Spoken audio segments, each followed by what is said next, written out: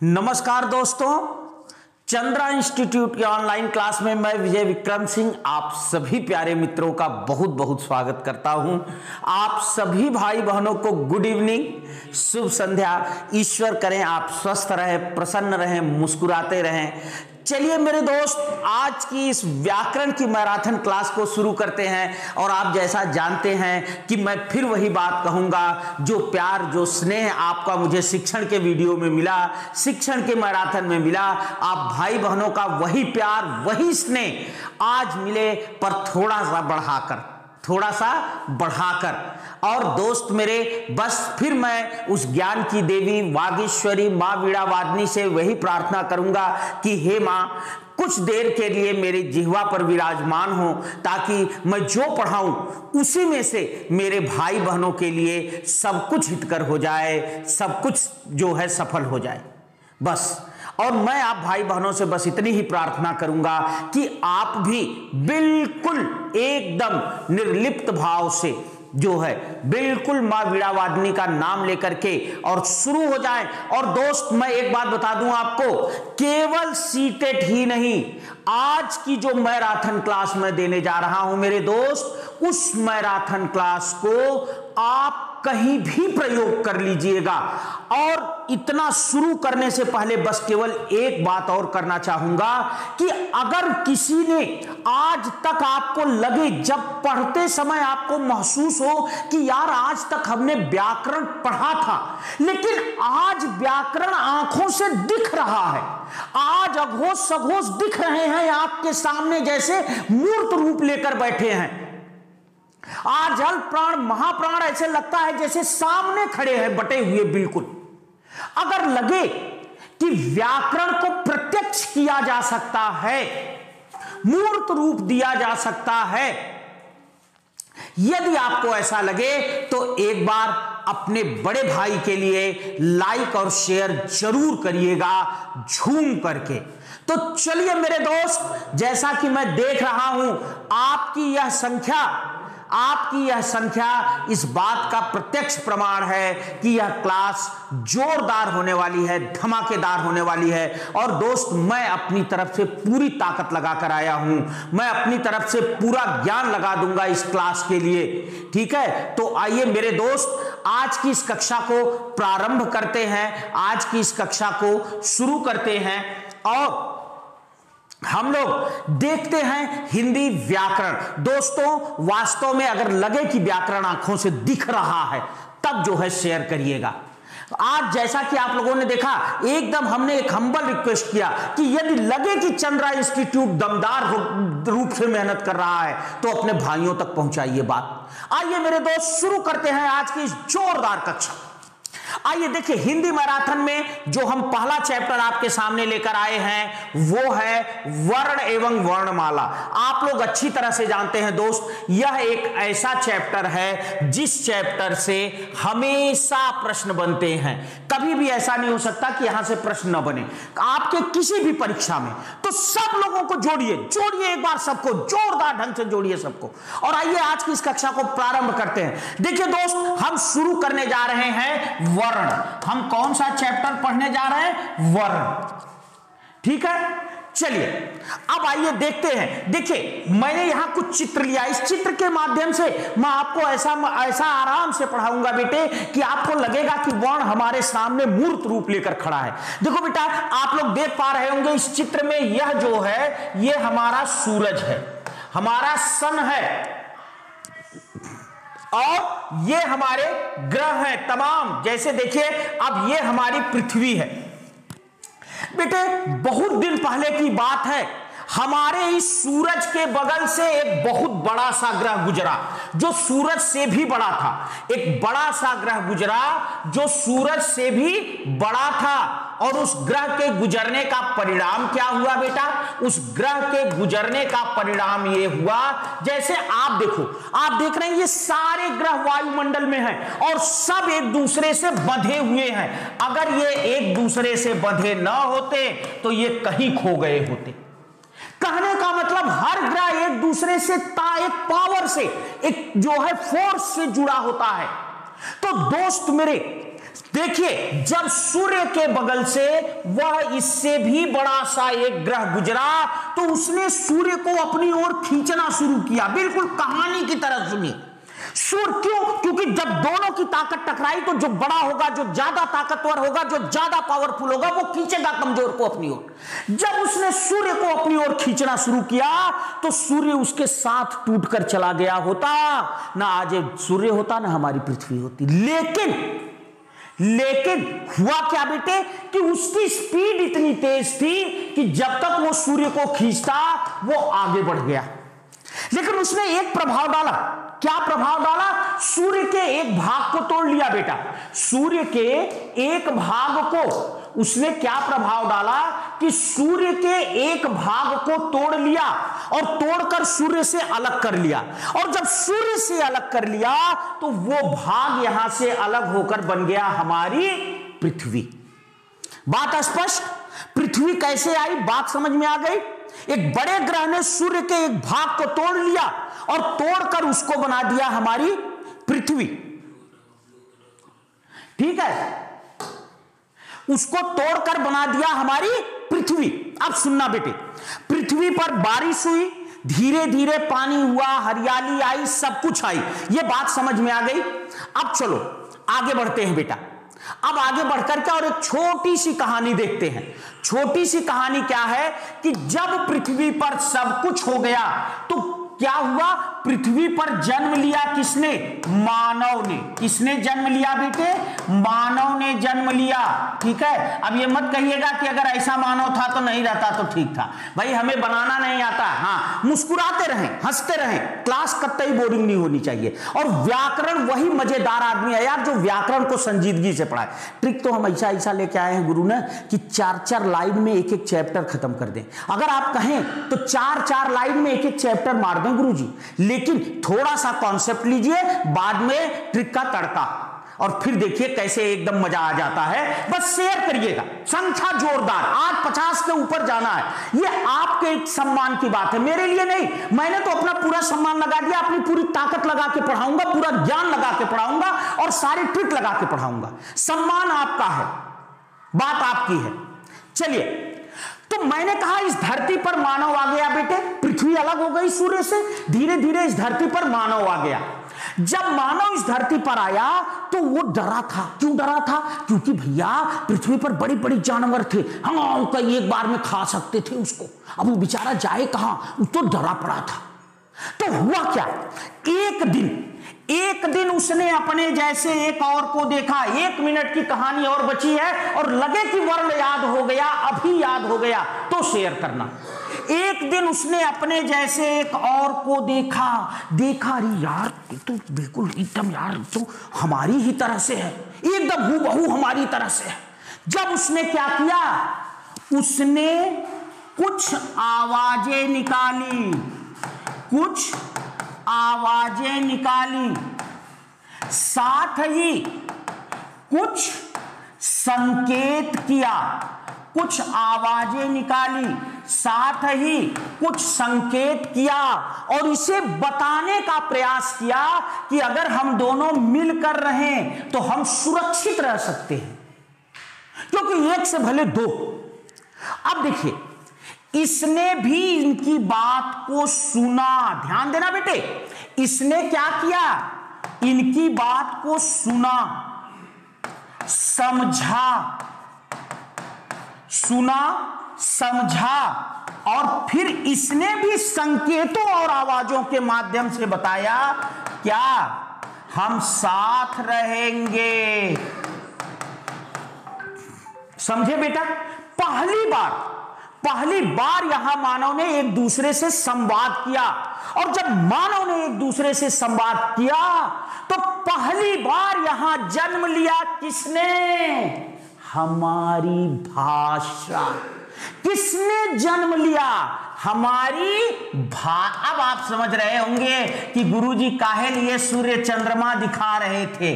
गुरुजी आपको रटाएँगे नहीं, यही खेलते खेलते याद करा देंगे। धरती बनी, धरती पर मानव आया, मानव डरा हुआ था। जब उसने अपने जैसे एक और को देखा, उससे कुछ संकेत किया, कुछ आवाज़ें निकाली, कहा, अगर हम मिलकर रहें तो हम सुरक्षित रहेंगे। दूसरे ने भी बात को सुना, समझा और बोला, ठीक है भैया, आज से हम साथ साथ हैं। अब हम साथ रहेंगे। बात समझे बेटे? सबसे पहले यही बनी हमारी भाषा। क्यों? क्योंकि आप तक क्या पढ़ा है आपने? भाषा का भाषा की परिभाषा। अपने भावों एवं विचारों को दूसरे तक पहुंचाना तथा दूसरे के भावों एवं विचारों को सुनना और समझना। इसी को कहते हैं भाषा। बात समझ में आई? बात समझ में आई? भाषा ने जन्म लिया। लेकिन ये भाषा कैसी थी मेरे बच्चे?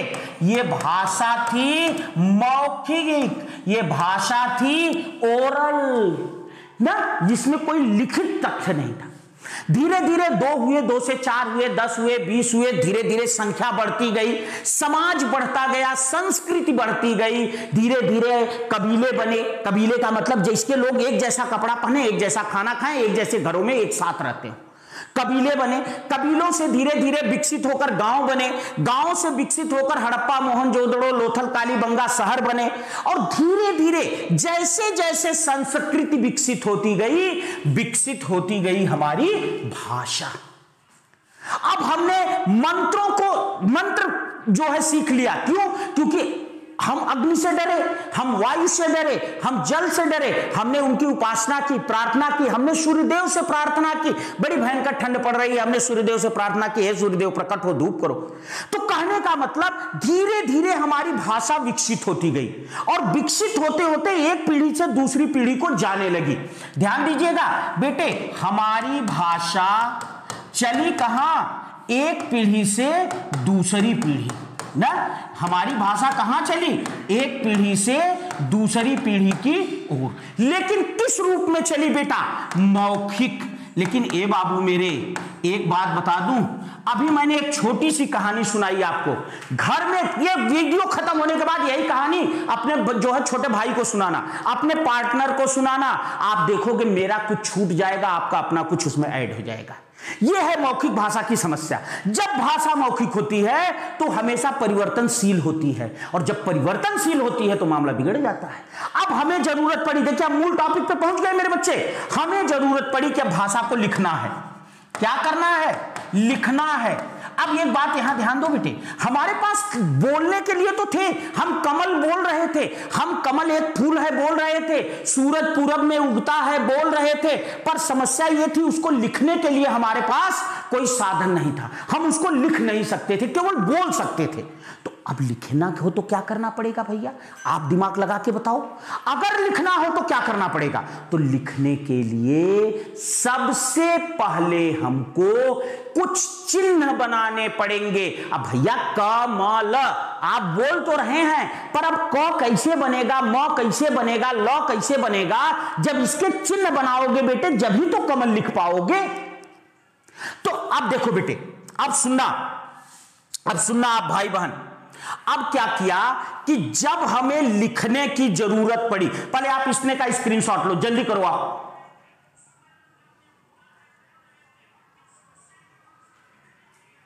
दैट्स गुड चलो, अब यहाँ तक समझ गए?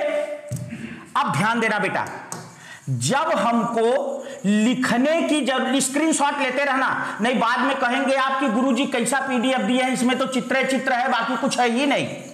नहीं इसीलिए मैंने मौका दिया आपको कि स्क्रीनशॉट लेते रहो बेटे, मज़ा आएगा।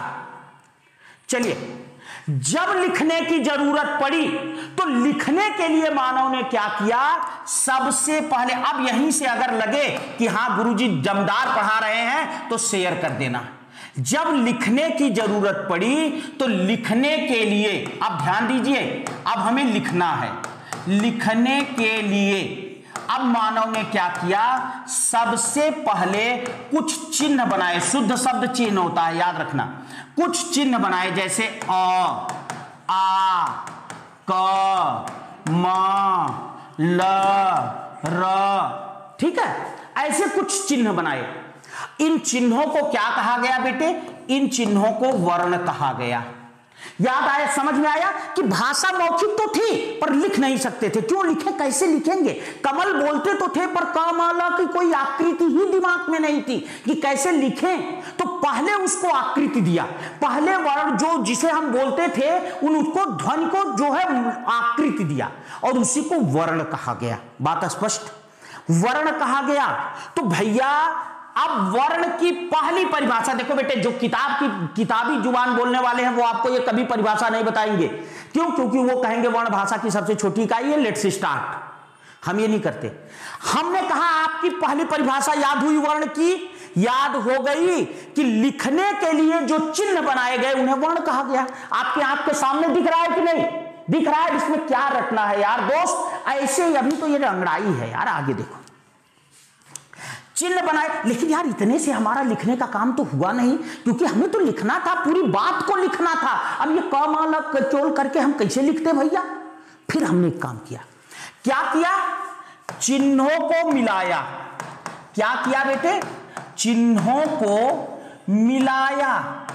चिन्हों को मिलाया जैसे कमल जैसे आम ल। इस तरह से चिन्हों को मिलाया। और जब चिन्हों को मिलाया तो इससे बना बेटा शब्द। कहने का मतलब सबसे पहले वर्ण बना, फिर वर्णों के योग से शब्द बना। इसका मतलब उससे बड़ी इकाई है। भाई, एक बात बताइए, ईंट ईंट छोटी इकाई पर ईंटों को जोड़कर घर बनता है तो घर बड़ी इकाई है कि नहीं? तो वर्ण, ईंट है और शब्द आगे बढ़ता जा रहा है। तो वर्ण से बड़ी इकाई बनी सब। लेकिन यार बेटा, केवल कमल आम कहने से हमारी बात तो निकल नहीं सकती। भाई, हमें कहना है कि आम एक मीठा फल है। अब हम केवल आम कह दें तो कैसे इसका बोध करा पाएँगे? हमें कहना है कमल एक सुंदर पुष्प है। अब केवल कमल कह दें तो इसका कैसे बोध करा पाएँगे? तो सीधी सी बात है, सीधी सी बात है कि अब हमें क्या करना है कि इन शब्दों को फिर मिलाया। क्या किया मेरे बेटे? शब्दों को शब्दों को मिलाया और मैं देखूँगा तभी जब आप कम से कम जिस समय आपकी संख्या बीस जो है, तीस हज़ार के प्लस होगी, तब मैं देखूँगा। इनको मिलाया, क्योंकि तब तक आप एक ट्रेलर ले लो कि हाँ, गुरुजी वास्तव में शेयर करने लायक हैं या नहीं। लगे तो भी करना। शब्दों को मिलाया और शब्दों को मिलाया जैसे कमल। सुंदर पुष्प है। इस तरह से। इसे क्या कहा गया मेरे बच्चे? इसे कहा गया वाक्य। अब शब्दों को जोड़कर बना तो शब्द से बड़ी काई वाक्य हो गई। ओके? चलो, आगे चलो।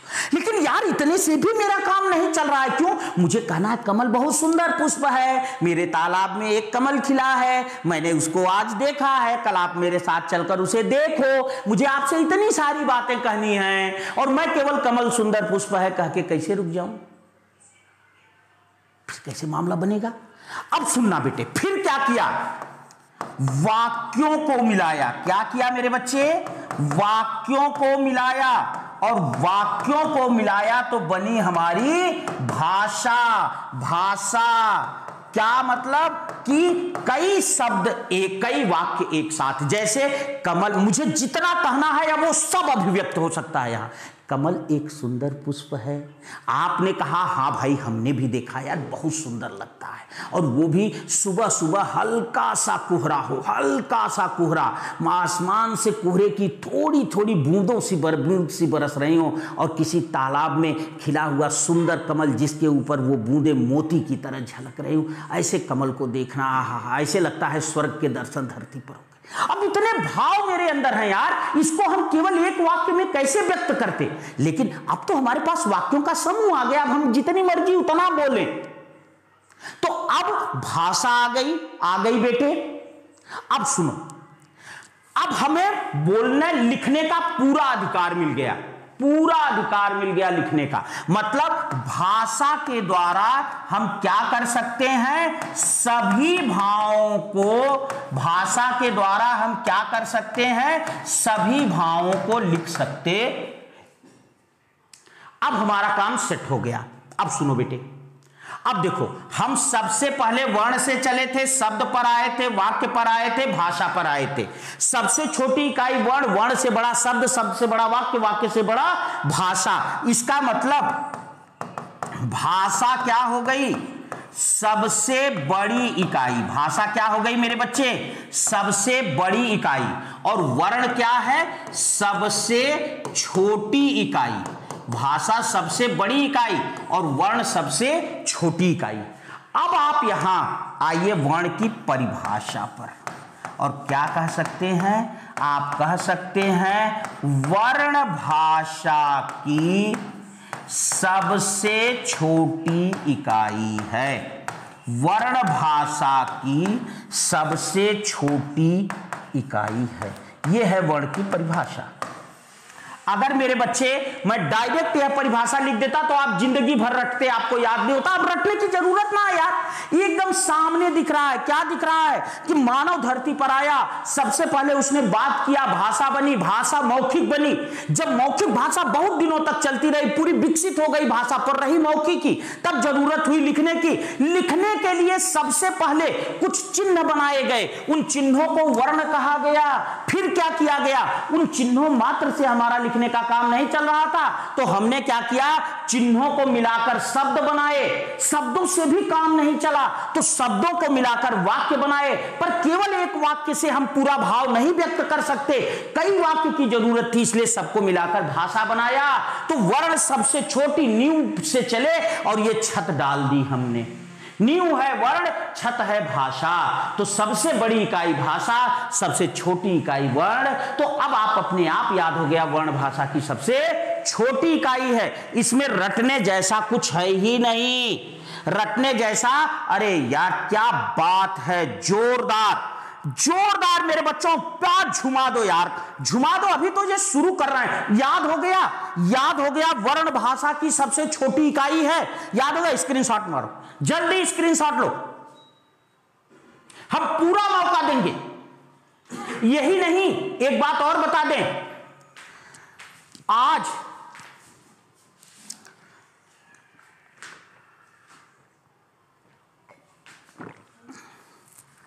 आज जिसने यहाँ व्याकरण पढ़ा, ज़िंदगी में व्याकरण रटना नहीं पड़ेगा, महसूस होगा। देखो, अभी तो शुरू हुआ है यार, अभी तो अंगड़ाई है ये।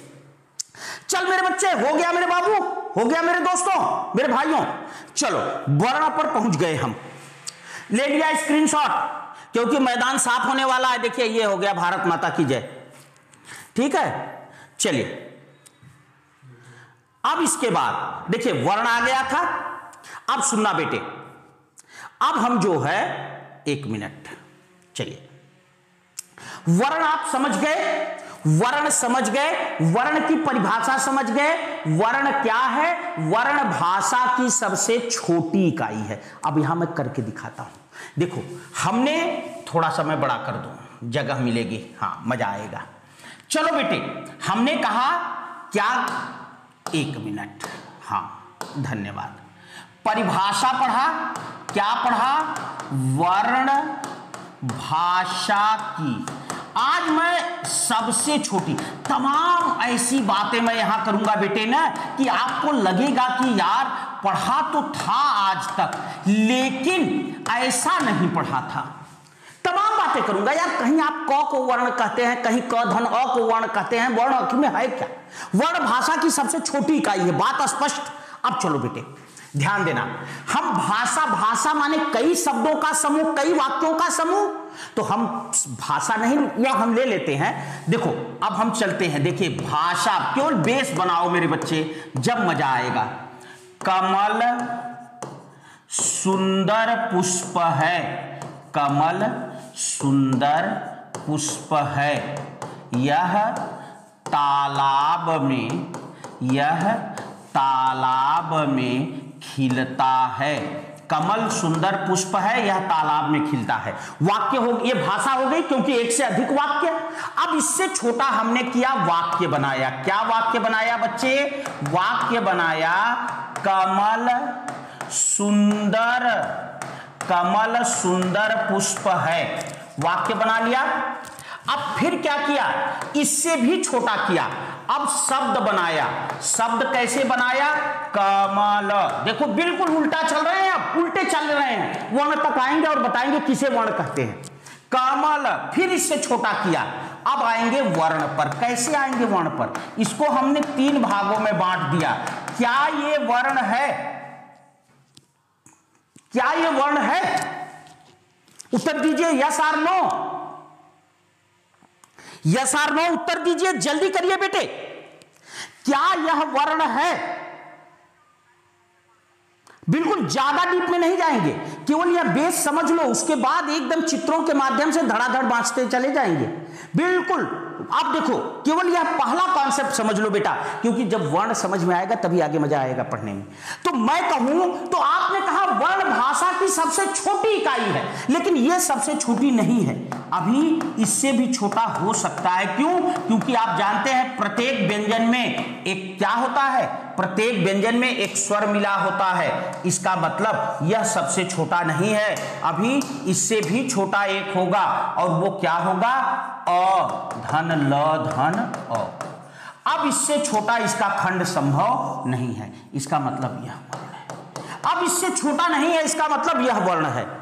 तो अब आपके सामने एक प्रश्न और, एक प्रश्न और, कि अगर आप इसे वर्ण मान रहे हैं तो आप जब वर्णमाला में वर्ण पढ़ते हैं तो आप कहते हैं क, ख, ग, घ। तो इसको क्यों वर्ण मानते हैं यार? वर्णमाला में इसको वर्ण मानते हैं। और यहाँ इसको वर्ण मान रहे हैं, आखिर में दोनों में अंतर क्या है? यह है असली प्रश्न यह असली ज्ञान का मूल्यांकन। कि कहीं आप इसे वर्ण मानते जब आप वर्णमाला पढ़ते हैं, कख गंगा चछ जजैया इन्हीं को तो वर्ण मानते हैं। और जब आप यहाँ कह रहे हैं कि ये वर्ण है तो फिर इसको वर्णमाला में क्यों नहीं मानते? क्यों क धना को नहीं मानते? तो मेरे बच्चे, ध्यान रखना ध्यान रखना लास्ट बात इसके बाद आनंद से। ठीक है? ठीक है? चलिए, क्या है ये? अब ध्यान देना बेटे कि अगर आपसे व्याकरण की दृष्टि से पूछे, अगर आपसे पूछे कि कमल शब्द में कितने वर्ण हैं? छ वर्ण। क, अ, म, अ, ल, अ। ठीक?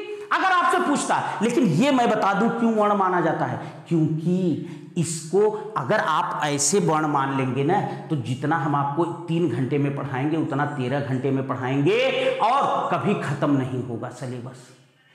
र, आ ज है राम घर जाता है, ऐसे पढ़ाएँगे, आपको समझ में आएगा? तो इसलिए पढ़ने पढ़ाने की दृष्टि से ये वर्ण है, व्याकरण की दृष्टि से ये वर्ण है, लेकिन अगर परीक्षा में पूछेगा तो आपको इसी को उत्तर देना है। वर्ण का कॉन्सेप्ट क्लियर वर्ण कॉन्सेप्ट क्लियर चलो स्क्रीनशॉट लो फटाफट। जल्दी। नेक्स्ट चलते हैं। अब चलते हैं वर्ण के बाद वर्णमाला पर। वर्ण के बाद किस पर चलते हैं बेटे? वर्णमाला पर। ध्यान देना, वर्णों के क्रमबद्ध, वर्णों के क्रमबद्ध एवं व्यवस्थित समूह को। वर्णों के क्रमबद्ध एवं व्यवस्थित समूह को वर्णमाला क्या कहते हैं बेटे? वर्णमाला कहते हैं। वर्णों के क्रमबद्ध एवं व्यवस्थित समूह को वर्णमाला कहते हैं। क्रमबद्ध व्यवस्थित का मतलब समझ रहे हैं? सीधे सीधे। क्रमबद्ध का मतलब है बेटे, जो वर्ण जिसके आगे पीछे आता है, जो वर्ण जिसके आगे पीछे आता है, वहीं आना चाहिए, इसको क्रमबद्ध कहते हैं। जैसे अगर ग ग किसके बाद आता है? ख के बाद आता है, घ से पहले आता है। तो ग यहीं आए। ये क्रमबद्ध है। व्यवस्थित का मतलब क्या है बेटे? जो जहाँ, जो जिस क्रम में आता है, क्या आता है बेटे? जो जिस क्रम में आता है। कहने का मतलब है बेटे कि जैसे जब आप पढ़ते हैं, सबसे पहले स्वर स्वर के बाद फिर नंबर दो पर व्यंजन। व्यंजन में भी सबसे पहले स्पर्श व्यंजन, फिर ऊष्म, फिर अंतस्थ, इस तरह से। तो जो जिस क्रम में, अब देखो बेटे, वर्णमाला बस इतने पर खत्म। क्या? कि जो वर्ण जिसके आगे या पीछे आता है, वही आए। और जो जिस क्रम में आता है, उसी क्रम में आए। इसको वर्णमाला कहते हैं। बात समझ में आई? वर्णों का क्रमबद्ध और व्यवस्थित समूह क्या कहलाता है? वर्णमाला क्रमबद्ध किसे कहते हैं? व्यवस्थित किसे कहते हैं? बता दिया आपको। स्क्रीनशॉट लो फटाफट। चलिए नेक्स्ट नेक्स्ट हाँ हाँ सही है। हाँ। देखिए, एक बात ध्यान रखना बेटे, मैं बिल्कुल सीटेट की दृष्टि से कमेंट कर ले रहा हूँ, क्योंकि आपको पता भाई, जब आप वर्ण वर्णमाला जानेंगे, तभी स्वर व्यंजन पर आएँगे। भाई, देखो, कख गघ जानेंगे, तभी तो लिखना सीखेंगे मेरे बच्चे। तो मैं तो आपको अभी कख गघ सिखा रहा था। अब लिखना सीख लीजिए। अब धड़ा धड़ा आपको बताऊँगा। सीटेट में पूछता है, ये ये जो है, एक वर्ण उठा लेगा गद्यांश में से। अघोष है, सघोष है अल्प्राण है, महाप्राण है, ना? तो अब धड़ा धड़ा आगे चलिए। ये स्वर है, ये व्यंजन है कौन सा स्वर है, ना? फटाफट आगे चलिए। बस, धड़ाधड़। चलो बेटे, वर्णमाला देख लिया आपने। वर्णमाला देख लिया। अब चलो। जब आपने, जब आप दिखाते जब आपने वर्णमाला देख लिया, अब हम आगे बढ़ते हैं बच्चे। देखिए, यहाँ मैंने आपके लिए दो चित्र लिए हैं। जरा इन चित्रों को ध्यान से देखना बेटे। और अब मैं यहाँ से शुरू करता हूँ आगे की लड़ाई। आगे क्या है? वर्णमाला के भाग। वर्णमाला के भाग। देखो बेटे, वर्णमाला के दो भाग होते हैं। क्या होते हैं? नंबर एक, स्वर, और नंबर दो, व्यंजन। बस बेस केवल एक बार बना लो बेटा, फिर देखो कितना मज़ा आ रहा है पढ़ने में। स्वर और व्यंजन। अब ध्यान देना, मैंने झोपड़ी क्यों ली है? एक गाँव में दो घर। एक गाँव में दो घर, एक स्वर, एक व्यंजन। ठीक? ये जो स्वर है, इसके बच्चे घर पर ही रहते हैं और व्यंजन के बच्चे इलाहाबाद रहते हैं। ठीक है? तो अब आपको क्या करना है बेटे? अब चलिए।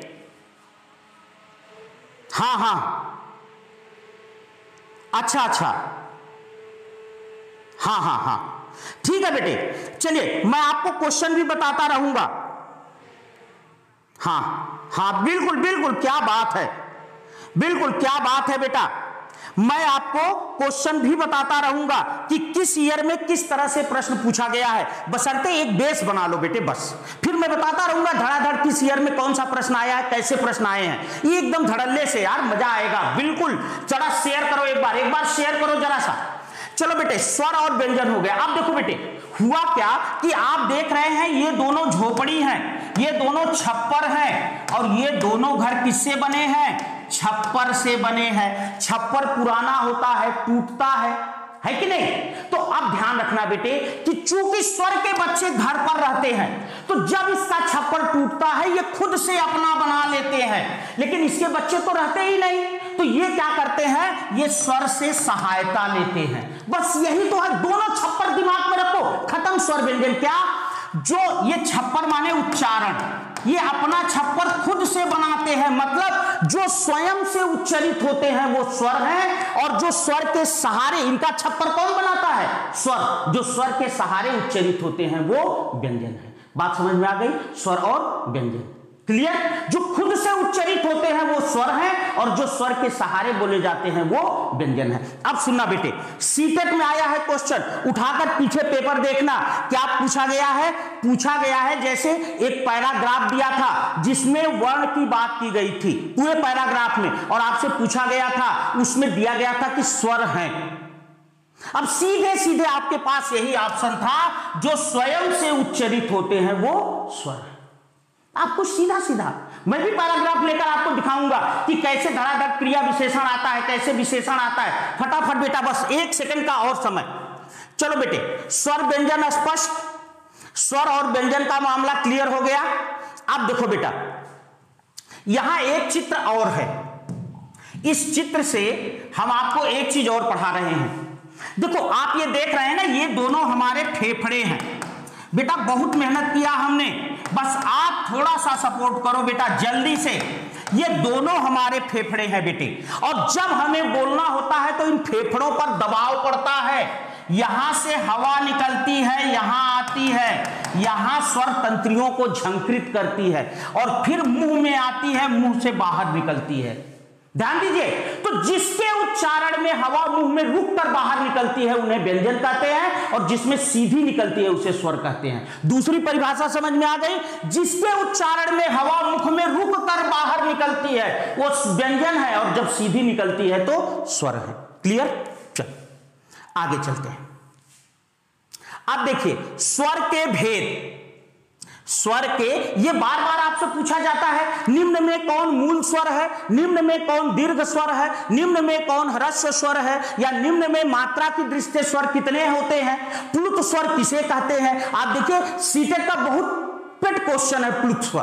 प्लुत स्वर सीटेट का बहुत पेट क्वेश्चन है। खूब पूछा जाता है सीटेट में। तो आइए दोस्त, देखते हैं स्वर के भेद। देखिए, स्वर के तीन भेद हैं। मैं आपको बता दूँ, कभी ज़िंदगी में नहीं भूलेगा। स्वर लिखा एक, दो, तीन। मतलब स्वर के तीन भेद और तीनों के तीन तीन भेद। क्लियर क्लियर चलो बेटे, अब देखो, स्वर के हम जो पहला भेद करते हैं, वो उत्पत्ति या निर्माण के आधार पर। उत्पत्ति या निर्माण का मतलब है स्वर कैसे बनते हैं। स्वर बनते कैसे हैं? तो ध्यान रखना बेटे कि पहला स्वर है मूल स्वर उत्पत्ति या निर्माण के आधार पर। कहने का मतलब जो स्वर सबसे पहले बने, जैसे देखो बेटे, मैं आपको बताऊँ, ये आप एक पौधा देख रहे होंगे, यहाँ बीज लगे हैं। जब ये बीज धरती में जाएँगे तो सबसे पहले इनकी जड़ निकलेगी और फिर एक पौधा निकलेगा। तो इसीलिए इनको मूल स्वर कहते हैं, मूल माने जड़, जो जड़ की तरह से है। अर्थात, जैसे जड़ सबसे पहले बनी बेटे। उसी तरह से जो स्वर सबसे पहले बने। देखो बेटा, थोड़ा सा। जो स्वर जो स्वर सबसे पहले बने। बेस बन जाए बस। फिर यार देखना कितना मज़ा आएगा। सबसे पहले बने वो मूल स्वर हैं। जैसे अ ई उ, री। ये चार हमारे मूल स्वर हैं। क्लियर चल। मैं भी आप ही की तरह से जो है काम कर रहा हूँ, बेटा, ताकि आपको ज़्यादा समय ना लगे और मेन द मेन पर आ जाए। दीर्घ स्वर। ध्यान रखना बेटे, कि मूल स्वर को दो बार जोड़ने पर, मूल स्वर को दो बार जोड़ने पर, जो स्वर बनता है, वो दीर्घ बनता है। दीर्घ स्वर बनते हैं। ठीक है? जैसे मैं बता दूँ आपको, ध्यान देना बेटे अ धन अ को जोड़ेंगे तो आ बनेगा। छोटी ई छोटी ई को जोड़ेंगे तो बड़ी ई बनेगी। छोटा ऊ छोटा ऊ को जोड़ेंगे तो बड़ा ऊ, और छोटा री छोटा री को जोड़ेंगे मेरे बच्चे तो बड़ा री बनेगा। इसका मतलब ये चारों हमारे क्या हैं? दीर्घ स्वर है। क्लियर चलो स्क्रीनशॉट लो। जल्दी जल्दी जल्दी करो मेरे बच्चे। अच्छा कलर चेंज करें। अच्छा अच्छा ओके ओके बेटा। ओके, ये येलो वाला तो ठीक दिख रहा होगा यार। येलो तो सही दिख रहा होगा। है? हाँ। ना बेटे यूपी टेट नहीं, ये सीटेट ही है मेरे बच्चे। ये सीटेट ही है। लेकिन भाई, कुछ तो बेस पढ़ना पड़ेगा। चलो, संयुक्त स्वर, तीसरा भेद। संयुक्त स्वर का मतलब है, बस यही एक और पढ़ लो आप। फिर देखो मैं कैसे फटाफट सीटेट अब आपको लगेगा कि हाँ ये सीटेट है। चलो, संयुक्त स्वर। ध्यान देना बेटे, संयुक्त स्वर का मतलब है दो अलग अलग स्वर मिलते हैं तो संयुक्त स्वर बनता है। जैसे मैं बताऊँ, जो है, आप देखते हैं, अ धन ई बराबर ए, अ धन ए बराबर ए अ धन उ बराबर ओ, अ धन ओ बराबर अ तो ये चारों हमारे क्या हो गए? संयुक्त स्वर हो तो उत्पत्ति की दृष्टि से स्वर तीन प्रकार के हैं, मूल स्वर, दीर्घ स्वर और संयुक्त स्वर। मूल स्वर माने अ उरी दीर्घ स्वर माने आ, बड़ी बड़ाऊ बड़ारी और संयुक्त स्वर माने क्या, ए आई ओ बात स्पष्ट? चलो बेटे। फटाफट, बिल्कुल समय नहीं। अब देखिए, मात्रा। मात्रा का मतलब ये अगर ये बोल रहे हैं कलाम साहब तो मात्रा का मतलब है उच्चारण का समय। मात्रा का मतलब क्या है बेटे? उच्चारण का समय। मतलब किसी को बोलने में जीवाणु को जितना समय लगता है, उसी को मात्रा कहते हैं। और मात्रा की दृष्टि से स्वर तीन तरह के हैं। कौन कौन से? नंबर एक, ह्रस्व। जिनमें एक मात्रा लगती है बेटे। नंबर दो, दीर्घ। जिनमें दो मात्रा लगती है। और नंबर तीन, प्लुत। जिनमें तीन मात्रा लगती है। लेकिन एक खास बात और। चले एक बार ब्लू ट्राई करते हैं। अगर आपको स्पष्ट दिखे तो कमेंट करेंगे बेटा। ठीक है? कमेंट करेंगे अगर ब्लू अच्छा लगे तो। चलो बेटा मतलब दिखे, या अच्छा लगना इन द सेंस देखो बेटे प्लुत को थोड़ा सा हम पढ़ लेते हैं। क्यों? क्योंकि प्लुत सीटेट का बहुत पेट क्वेश्चन है। याद रखना बेटे प्लुत का मतलब है जिस स्वर के पीछे तीन लगा हो। जैसे अगर आ के पीछे तीन लगा है तो ये प्लुत है। तो जिसके पीछे तीन लगा हो, वो प्लुत है। जैसे आप पढ़ते हैं, ओम। आप देखिए, ऐसे लिखा रहता है ना, ओ के पीछे तीन, इसका मतलब ये प्लुत है। इसके उच्चारण में दीर्घ से ज़्यादा समय लगेगा, ओम। ओम। क्लियर तो प्लुत स्वर। आपसे सीटेट का क्वेश्चन है। प्लुत स्वरों की संख्या देखिएगा पेपर उठाकर। मैंने कहा ना, मैं क्वेश्चन रख के आया हूँ पूरा। एकदम याद करके प्लुत स्वरों की संख्या। प्लुत स्वरों की संख्या कितनी है? प्लुत स्वरों की संख्या आठ है। प्लुत स्वरों की संख्या। क्या है बेटे? प्लुत स्वरों की संख्या। प्लुत स्वरों की संख्या कितनी है बेटे? आठ। कौन कौन से? आ, बड़ी, ई, बड़ाऊ, बड़ारी। ए आए ओ ओ यही आठ प्लुत स्वर हो सकते हैं। बस इनके पीछे तीन। अब आप कहोगे ये दीर्घ भी है तो बस इनके पीछे तीन लगा दीजिए। ये सब प्लुत हो गए बेटे। सब प्लुत हो गए। कहने का मतलब ध्यान रखना बेटे, कि जिस भी दीर्घ स्वर के पीछे तीन लगा होता है, वो प्लुत हो जाता है। क्लियर कितने प्लुत हैं? आठ। याद हो गया? चल स्क्रीनशॉट लो फटाफट।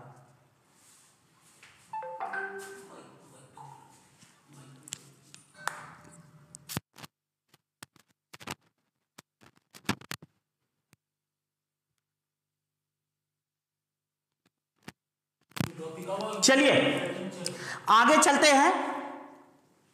अब आ गया तीसरा भेद स्वर का बेटे। जिहवा की उच्चारण स्थिति के आधार पर स्वर के भेद। लास्ट भेद है। बस, अब इसके बाद हम मेन पर आ जाएँगे। जिहवा की उच्चारण स्थिति। देखो बेटे, मैं आपको बता दूँ, सबसे बड़ी चीज़ ये है, आपने यहाँ हमारे, देख लिया, ये हमारी जिहवा है। ये क्या है बेटे हमारी? ये हमारी जिहवा है। ठीक? और ये देखो बेटे, ये है हमारी जीभ। हमारी जीव के तीन भाग होते हैं। अब मैं पीछे लेता हूँ। क्यों? क्योंकि यहाँ आपको दिखने में दिक्कत होगी। ठीक है? ये यहाँ से। चलो बेटे। ये हमारी जिहवा है और हमारी जिहवा के तीन भाग हैं।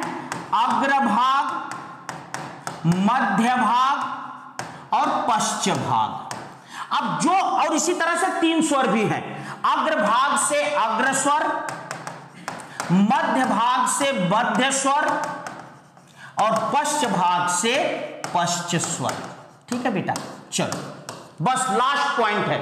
अब ध्यान देना बेटे अग्र स्वर का मतलब एक ट्रिक ले लो ट्रिक ले लो। आओ, उल्लू, आपसे बार बार पूछा जाता है। आओ, उल्लू, पीछे पीछे।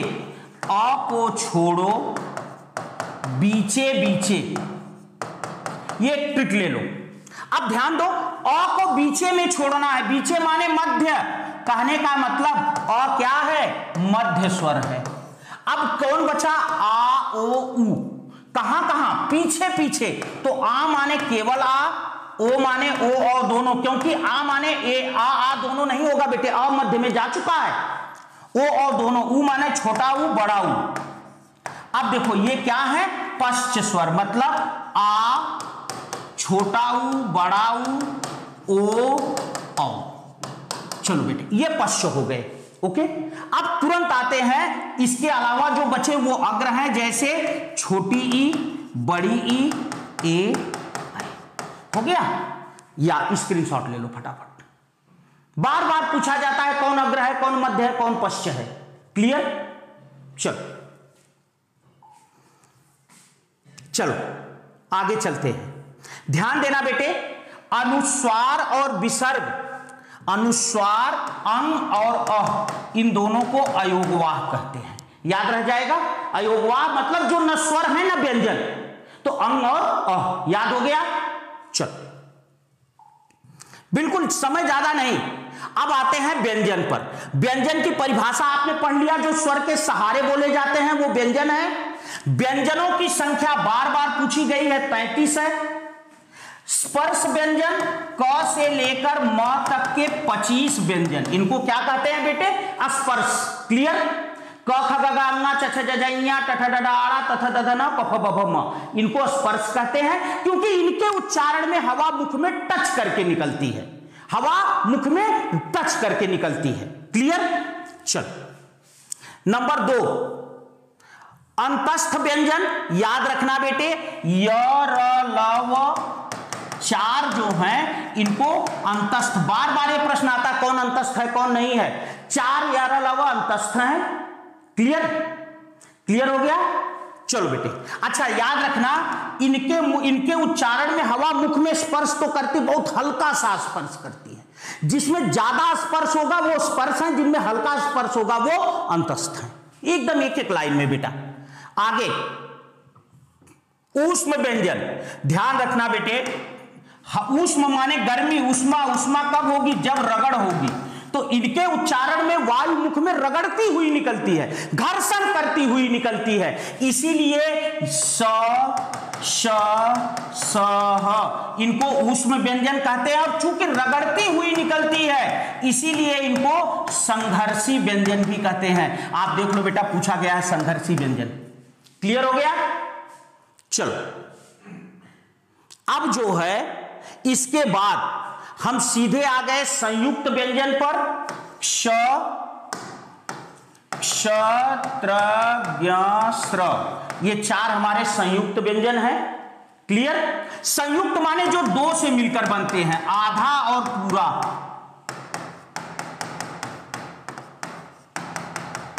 बिल्कुल बेटा, आगे अभी आधा सधन रो चलो। आगे। उत्सृप्य व्यंजन। उत्सृप्य व्यंजन का मतलब है बेटे अड़ और अढ़। ठीक, हो गया? क्लियर चलो, बिल्कुल समय नहीं। बिल्कुल तेज़ी से। हिंदी में कुल व्यंजनों की संख्या लास्ट पॉइंट है। इसके बाद मज़े का टॉपिक सब शुरू। कुल व्यंजन की संख्या हिंदी में बावन है। कैसे मैं बता दूँ? ग्यारह स्वर हैं, तैतीस व्यंजन है ठीक है बेटे? दो अयोगवाह हैं, ठीक? चार संयुक्त हैं, दो उश्रिप्य है। जोड़ लेना, सब आ गया आपका बावन, तैतीस, ग्यारह, चौवालीस चौवालीस, चार, अड़तालीस अड़तालीस, चार, बावन। हिंदी में अगर पूछता है, कुल कितने व्यंजन है, कुल कितनी ध्वनियाँ हैं तो हिंदी में कुल व्यंजन क्या? ये व्यंजन ना करिए बेटे, यहाँ ध्वनि कर लीजिए। अगर पूछता है हिंदी में कुल कितनी ध्वनि है तो बावन ध्वनि है। क्लियर चल स्क्रीनशॉट लो फटाफट। हम भी बेटा, हमें भी पता है कि कितनी तेज़ी से कहाँ से निकलना है। अब देखो बेटे, बाह्य प्रयत्न, इसको जरा सा समझ लेना बेटे, क्योंकि यहाँ हम शुरू करेंगे अल्पप्राण और महाप्राण, असली लड़ाई, जिसके लिए आपको यह टॉपिक पढ़ा रहा हूँ। अल्पप्राण, महाप्राण अघोष और सघोष देखो बेटे, मैंने कहा जब बोलना होता है तो यहाँ से हवा निकलती है। हवा निकल करके यहाँ आती है स्वर तंत्रियों को झंकृत करती है। तो एक तो हो गया, पहला भेद हो गया हमारा वायु या प्राण की दृष्टि से। और दूसरा हो गया झंकार या घोष की दृष्टि से। ठीक है बेटे? अब देखो। अब ध्यान देना कि कहने का मतलब बाह्य प्रयत्न के आधार पर दो भेद हैं। नंबर एक वायु या प्राण, नंबर दो झंकार या घोष। क्लियर? ये फेफड़े से हवा निकलती है, यहाँ स्वर तंत्रियों को झंकृत करती है और फिर मुँह से बाहर निकलती है। तो एक तो झंकृत करना, एक फेफड़े से हवा निकलना। आगे चलो बेटे। नेक्स्ट चलते हैं। अब ध्यान देना। अब ध्यान देना कि अघोष, सघोष। आज सबसे पहले अल्प प्राण और महाप्राण। मैंने कहा प्राण प्राण का मतलब क्या है बेटे? प्राण का मतलब है वायु। कहने का मतलब अल्प प्राण। कम वायु मतलब जिनके उच्चारण में कम वायु लगती है, वो अल्प प्राण है। अभी अभी देखे नहीं, सोचेंगे आदमी क्या कर रहा है, मैं बताऊँगा। और महा माने ज़्यादा तो जिनके उच्चारण में ज़्यादा वायु लगती है, वो महाप्राण है। अब कौन अल्प प्राण है, कौन महाप्राण है? आइए, हम आपको बता रहे हैं, ध्यान दीजिएगा। देखिए, ये दो आदमी आपके सामने बैठ के पूरी खा रहे हैं। अब आपको क्या करना है? अल्प प्राण और महाप्राण इन्हीं दो आदमियों से बना लेना। अगर दुनिया का सबसे सरल तरीका ना बता दूँ तो फिर शेयर मत करना।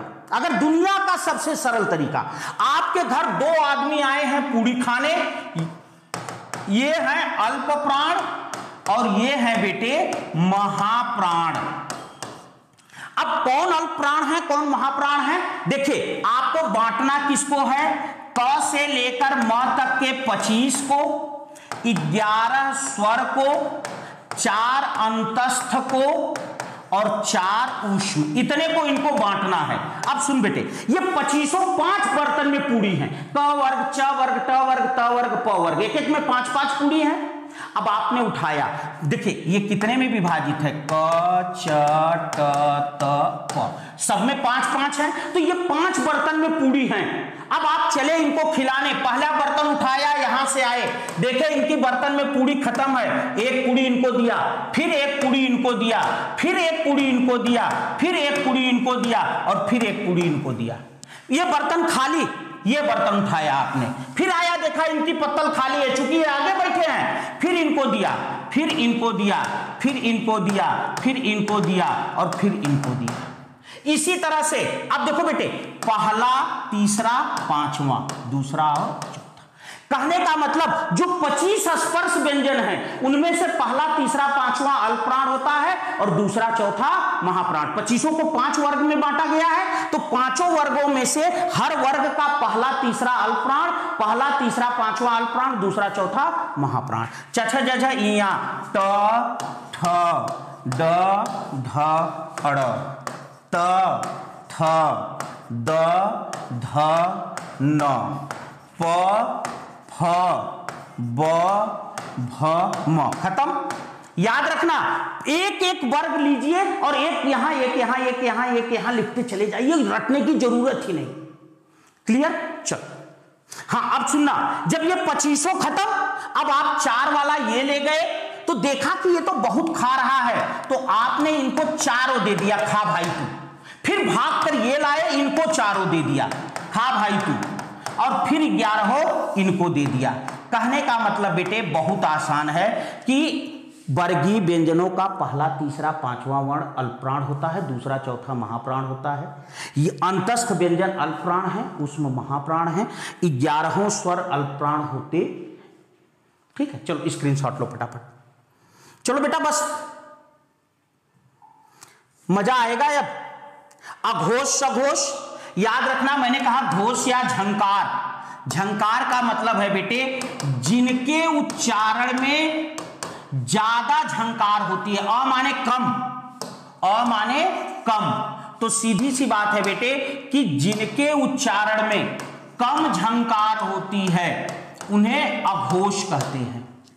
और जिनमें ज़्यादा झंकार होती है, उन्हें सघोष कहते हैं। ठीक है? कम झंकार का मतलब क्या है बेटा? ध्यान देना, कम झंकार का मतलब यह है कि कम ताकत लगे बोलने में। तो याद रखना बेटे, वर्गीय व्यंजनों का, वर्गीय व्यंजनों का, एक काम करो, एक ट्रिक यहाँ भी देता हूँ। देखो, आप मात्रा लगाना जानते हैं, अ की एक मात्रा, अ की कितनी मात्रा? एक मात्रा, घो की दो। इसका मतलब वर्गीय व्यंजन जो है या स्पर्श व्यंजन जो है बेटे, वर्गीय व्यंजनों का पहला दूसरा वर्ण अघोष होता है और तीसरा, चौथा, पांचवा सघोष होता है। स स से याद रख लेना, तीनों स अघोष होते हैं। बाकी जो बचे, य, र, ल, व, ह और ग्यारह स्वर। लो बेटा, चलो स्क्रीनशॉट लो फटाफट। कुछ नहीं, एक से याद हो गया यार, एक, दो माने वर्गीय व्यंजनों का पहला, दूसरा, स माने तीनों स अघोष है, बाकी जो बचे सब सघोष है खत्म काम, कुछ नहीं। चलो तो ये रहा आपका हाँ एक चीज़ और बहुत पूछा जाता है बेटे। हिंदी में अक्सर अमानक वर्ण जो है, आप सीटेट में देखते होंगे, अमानक वर्ण बहुत पूछा है हिंदी में। कि निम्न में कौन अमानक वर्ण है? ये देखिए, प्लुत स्वर और अमानक वर्ण, ये दो पहले टॉपिक से सीटेट के बहुत पेट कॉन्सेप्ट हैं। जहाँ से खूब प्रश्न बने हैं। तो ध्यान रखना बेटे, यहाँ मैंने आपके सामने दो गाड़ियाँ रखी हैं। आप इनको देखते ही समझ जाओगे। देखो मेरे बच्चे, ये गाड़ी वो है, ये वो गाड़ी है जो अब नहीं चलती। अब नहीं चलती मतलब ये बंद हो गई है। ठीक है? और इसका मॉडर्न रूप ये है। अब चलने लगी, अब चलती है। इसका मॉडर्न रूप। समझे? अब देखो, इसी से समझ लेना, ज़िंदगी में कभी रटना नहीं पड़ेगा। क्या? कि ये है अमानक वर्ण। अब समझ गए बेटे? अब कुछ समझाना ही नहीं, चित्र ने सब बता दिया यार। क्या? कि वर्णों का वह रूप जो पहले चलता था, आज नहीं चलता, वो अमानक है। जैसे मैं बता दूँ बेटे, याद होगा आपको, पहले ल इस तरह से लिखा जाता था। आज ल इस तरह से लिखा जाता है। ये अमानक हो गया। पहले भ इस तरह से लिखा जाता था। आज भ इस तरह से लिखा जाता है, ये अमानक हो गया। पहले झ इस तरह से लिखा जाता था, आज झ इस तरह से लिखा जाता है। तो ये सब अमानक है। तो मतलब वर्णों का वह रूप जो कभी था पर आज नहीं है, प्रचलित, वो अमानक है। क्लियर? चलो। इसके साथ ही पहला टॉपिक खत्म। देखो बेटा, जो मुझे बेस बनाना था, वो मैं बेस बना लिया। अब आते हैं आपके मेन टॉपिक पर। आपने बार बार देखा होगा सीटेट में क्वेश्चन आता है, निम्न में कौन भाववाचक संज्ञा है? निम्न में भाववाचक संज्ञा बहुत, मैंने भी वही वही चीज़ें ली है बेटे। देखो, पहले चैप्टर में बहुत सी बातें थी, लेकिन मैंने केवल वही लिया जो सीटेट में आती है। अब यहाँ मैं, भाई स्वर व्यंजन आपको बिना पढ़ाए तो बेस बन नहीं सकता था। अब यहाँ मैं आपको जो पढ़ाऊँगा, संज्ञा संज्ञा में भी मैं बहुत सी बातें नहीं करूँगा।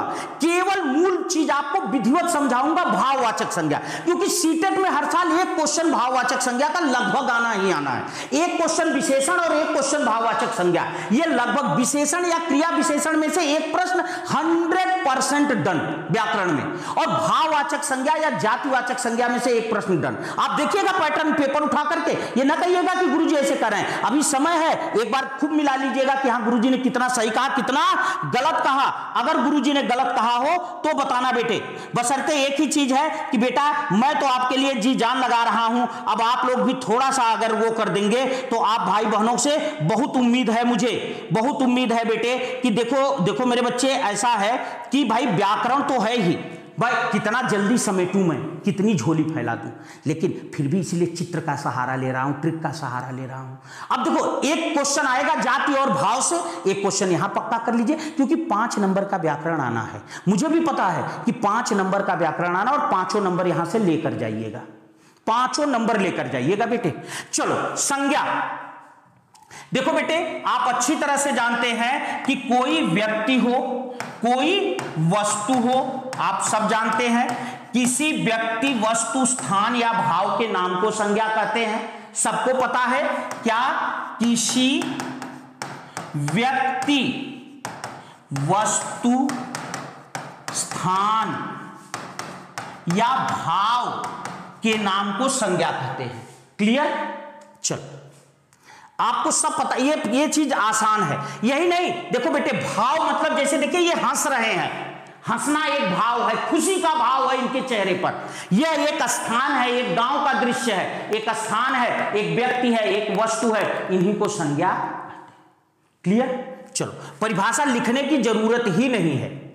संज्ञा के भेद, ध्यान देना बेटे, संज्ञा जो है हमारी, संज्ञा के भेद। एक, दो, तीन, चार, पाँच। अगर अच्छा ट्रिक लगे तो शेयर करना। संज्ञा के भेद। लिखा हमने क्या? अगर ऊपर स्पष्ट कम दिखे तो हमने लिखा संज्ञा के भेद। एक, दो, तीन, चार, पाँच। संज्ञा के पाँच भेद होते हैं। कौन कौन से बेटे? व्यक्तिवाचक संज्ञा। व्यक्तिवाचक। नंबर दो, जातिवाचक। नंबर तीन, भाववाचक, नंबर चार, समूहवाचक, और नंबर पाँच, द्रव्यवाचक। यही संज्ञा के पाँच भेद हैं बेटे। ठीक है? अब चलो एक एक भेद लेकर के हम उसकी चर्चा करते हैं। देखो बेटे, नंबर एक, हम यहाँ शुरू करेंगे व्यक्तिवाचक संज्ञा। नंबर एक पर क्या शुरू करेंगे? व्यक्तिवाचक संज्ञा। पाँचों भेद पता चल गया? अब ध्यान देना बेटे, एक जुगाड़ केवल एक लाइन में खत्म कर दूँगा यार, कुछ नहीं। बस कोई किताबी परिभाषा नहीं, बस एक लाइन में खत्म संज्ञा क्या? जहाँ एक जैसे कई हूँ, जहाँ एक जैसे कई हूँ, हम एक को लें, बाकी को छोड़ दें। जहाँ एक जैसे कई हों हम एक को लें, बाकी को छोड़ दें। वह संज्ञा व्यक्तिवाचक संज्ञा कहलाती है। वह संज्ञा व्यक्तिवाचक संज्ञा, वह संज्ञा व्यक्तिवाचक संज्ञा कहलाती है। ठीक है? जैसे मैं बताऊँ बेटे, जैसे अब देखो राम, अब सुनना, मैं किताब की भाषा नहीं बोलूँगा। सरल मैं आपको दे सकूँ बस। जैसे दुनिया में लाखों करोड़ों नाम के आदमी हैं। जब हमने राम कहा तो केवल एक को लिया, बाकी को छोड़ दिया। जैसे हमने कहा, सोमवार।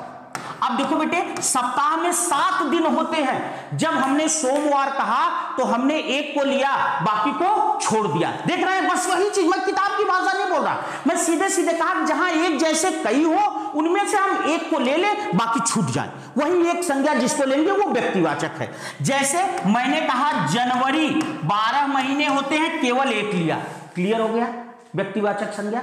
मतलब जहाँ, जैसे अब आपसे मान लीजिए पूछ लिया, आपसे अगर पूछ लिया कि 26 जनवरी आने वाली है, हो सकता है पूछ ले कि 26 जनवरी कैसी संज्ञा है? तो भाई, तमाम राष्ट्रीय पर्व हैं 15 अगस्त 26 जनवरी 2 अक्टूबर, तमाम राष्ट्रीय पर्व हैं। जब हमने 26 जनवरी कहा तो एक को लिया, बाकी को छोड़ा। और जब बाकी को छोड़ा, केवल एक लिया तो इसका मतलब ये कैसी संज्ञा है?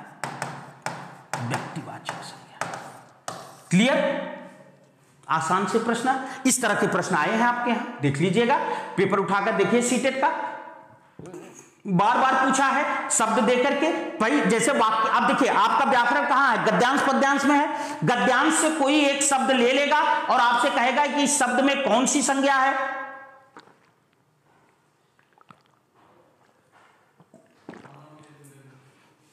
गद्यांश से एक शब्द ले लेगा और आपसे कहेगा, इस शब्द में कौन सी संज्ञा है? तो अब आपको जब पता होगा कि व्यक्तिवाचक है कि जातिवाचक है, तभी तो बता पाएँगे। बार बार ये क्वेश्चन आए हैं, आप देख लीजिए। आपसे पूछा गया है कि फूल कैसी संज्ञा है, पुष्प कैसी संज्ञा है। आपसे पूछा गया है, दुख कैसी संज्ञा है। आप सीटेट का पेपर उठाकर देखिए। धड़ाधड़ संज्ञा से प्रश्न ज़रूर एक बनेगा बेटे, चाहे व्यक्ति, जाति, भाव, तीनों में से एक ज़रूर बनेगा। चलो क्लियर नंबर दो चलते हैं जातिवाचक संज्ञा। देखो बेटे, जातिवाचक संज्ञा में मैंने कुछ चित्र लगाए हैं। क्यों चित्र लगाए हैं? क्योंकि आप कहेंगे ये कौन है तो आप कहेंगे कि ये पंडित जी हैं। बस यहीं से एक बार में खत्म। आप कहेंगे ये कौन है तो आप कहेंगे ये मौलवी साहब हैं। कौन है बेटे? मौलवी साहब हैं। आप कहेंगे ये कौन है तो आप कहेंगे कि ये यादव जी हैं भैया, दूध का कारोबार कर रहे हैं हमारे यादव जी। इन्हीं लोगों की बदौलत आप भी पा जाते हैं। ये कौन है? ये खेती का काम कर रहे हैं। तो भैया, चलो ये हमारे मौर्य जी हैं। अब सुनना बेटे, ये नहीं कि करते ही हैं, भाई, जो चीज़ें हैं।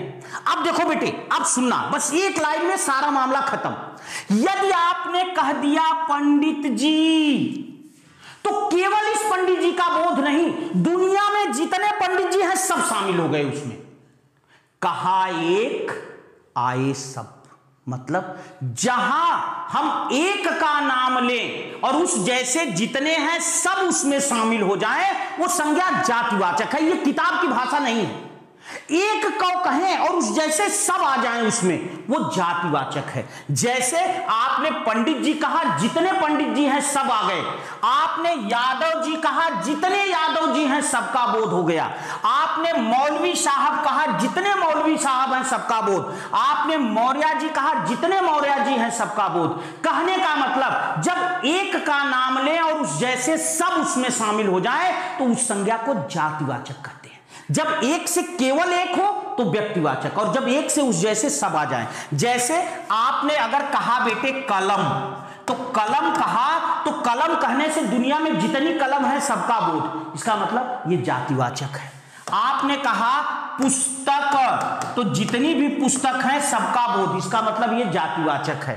आपने कहा, क्या कहा? मान लीजिए आपने कहा, घर तो दुनिया में जितने घर हैं, सबका बोध। इसका मतलब ये जातिवाचक है। आपने कहा बैल तो दुनिया में जितने बैल हैं सबका बोध। आपने कहा किसान, जितने किसान हैं सबका बोध। अब इससे ज़्यादा क्या इसमें पढ़ाना जब एक का नाम ले, अगर कोई ऐसा शब्द दिखाए, दे, जिसको कहने से उसके समान जितने हैं सब उसमें आ गए हैं तो समझ लेना वो जातिवाचक संज्ञा है। जैसे आपसे पूछ लिया कि सड़क कैसी संज्ञा है? सीटेट में क्वेश्चन पूछा है, पुष्प कैसी संज्ञा है? तो आपने कहा फूल फूल माने दुनिया में जितने भी फूल हैं, चाहे कमल का हो, गुलाब का हो, गेंदे का हो, सब फूल आ गए, इसका मतलब जातिवाचक। तो जब एक कहें और सब आ जाएँ तो जातिवाचक। ठीक है? क्लियर चलो। अब असली लड़ाई तीसरी संज्ञा पर लड़नी है बेटे। असली लड़ाई, देखो बेटे, भाववाचक। असली लड़ाई हमको जो है, तीसरी संज्ञा पर लड़नी है, जिसका नाम है भाववाचक। आप यहाँ देख रहे होंगे, ये आदमी हंस रहा है। ध्यान देना, भाववाचक मतलब भाव का बोध कराने वाली संज्ञा। अब भाव के दो रूप हैं, ध्यान देना, दो रूप हैं भाव के। एक भाव का मतलब होता है, बेटे, हमारी फीलिंग्स हमारे इमोशन जैसे ये आदमी हंस रहा है। क्या कर रहा है बेटे? ये आदमी क्या कर रहा है? हंस रहा है। तो इसमें हँसी का भाव है। है कि नहीं? यह आदमी गायों को रोटी खिला रहा है। इसके अंदर दया का भाव है। ये हमारे जो है जो है टाइपिस्ट लोग हैं भैया, जिन्होंने इतना मेहनत से करके पीडीएफ बनाते हैं तो ये क्या है? ये प्रसन्न है, मुस्कुरा रहे हैं, इनमें भी हँसी का भाव है। तो मेरे कहने का मतलब बेटे, पहला तो भाव का मतलब है जो हमारी इमोशंस हैं, जैसे त्याग, क्षमा, दया, समर्पण, हंसना, क्रोध, रोना सीटेट में यहाँ से ज़रूर एक क्वेश्चन आया है। आप देखो, पाँच सात बार क्वेश्चन आया, क्रोध कैसी संज्ञा है? उत्साह कैसी संज्ञा है? दया कैसी संज्ञा है? ये सब क्या है? भाववाचक संज्ञा। क्यों? क्योंकि ये हमारी भावनाएँ हैं। ये हमारे पर्सनल इमोशंस हैं। ठीक है बेटे? ठीक है? हाँ। आगे चलते हैं बेटे। गाड़ी। गाड़ी का मतलब है बेटे, जातिवाचक गाड़ी कहा दुनिया की? हर गाड़ी का बोध। ये ना सोचिए कि देशज विदेशज है तो क्या होगा? कोई नहीं, जब एक को कहा सबका बोध तो सब जातिवाचक संज्ञा। ठीक है बेटा?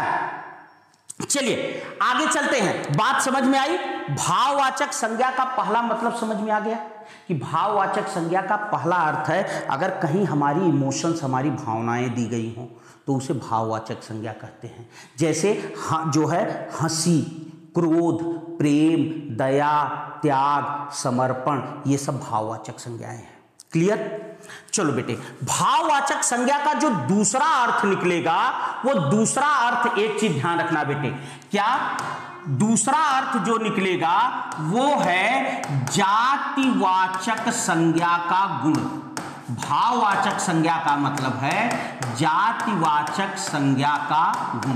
मतलब जातिवाचक संज्ञा में यदि कोई विशेषता पाई जाए तो वो भाववाचक है। जैसे मानव जातिवाचक है। भाई, मानव कहने से दुनिया में जितने मानव हैं, सबका वो और मानव में काहे का गुण पाया जाता है? मानवता का। इसका मतलब मानवता कैसी संज्ञा है?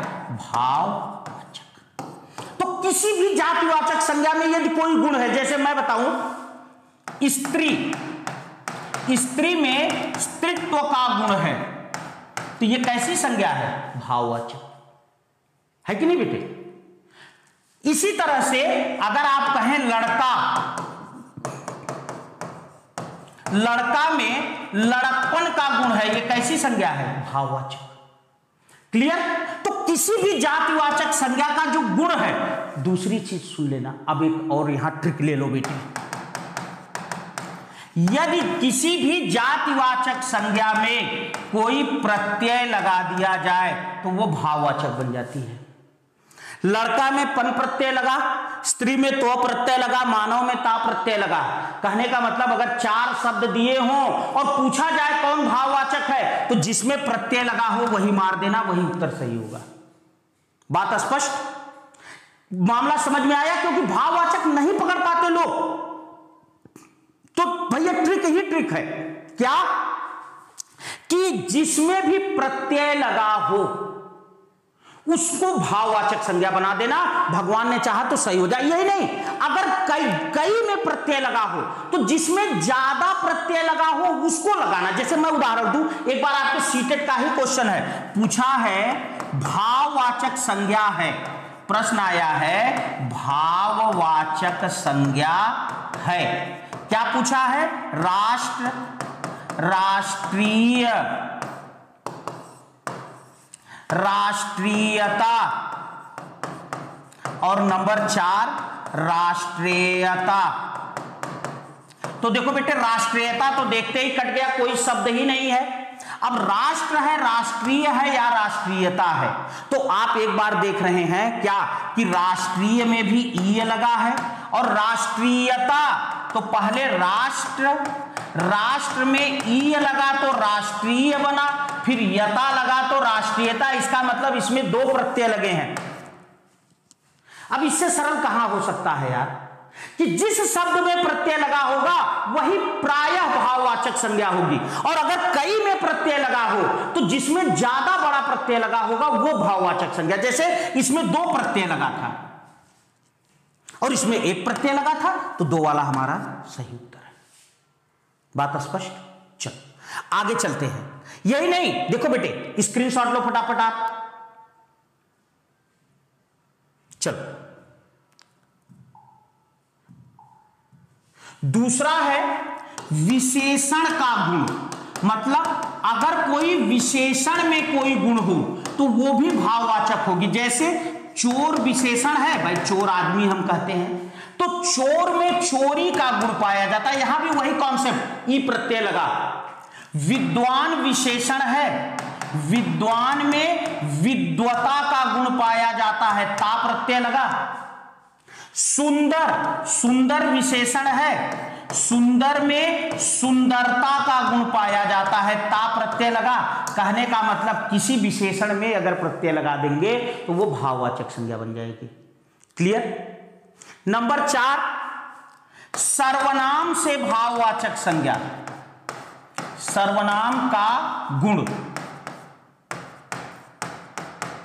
अब देखो बेटे, जैसे अपना एक सर्वनाम है, अपना में पन प्रत्यय लगा दिया तो क्या बन गया?